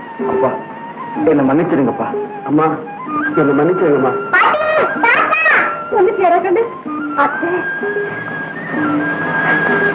வாமா நான் உள்ள வரலாம் அத்தே? ஏன்டா அப்படி கேக்குறேன் இந்த படிகளை மிதிக்க கூட தகுதி இல்லாத பாவி ஆயிட்டேன். மாமாவை படுத்தின கொடுமைகளுக்கு என்ன மன்னிச்சிடுங்க தெரிஞ்சு என்ன மன்னிச்சிடுங்க. அப்படியெல்லாம் சொல்லாரேம்மா எல்லாரும் இந்த வீட்டை விட்டுட்டு போயிட்டீங்கன்னு தானேம்மா நாங்களும் வேதனைப்பட்டோம். குண்டத்துல ஏத்தி வச்ச குத்து விளக்காட்டம் நீங்க எல்லாரும் இந்த குடும்பத்து விளக்கா ஒளி வீசணுங்கிறது தானேம்மா எங்க ஆசையம். மாமா.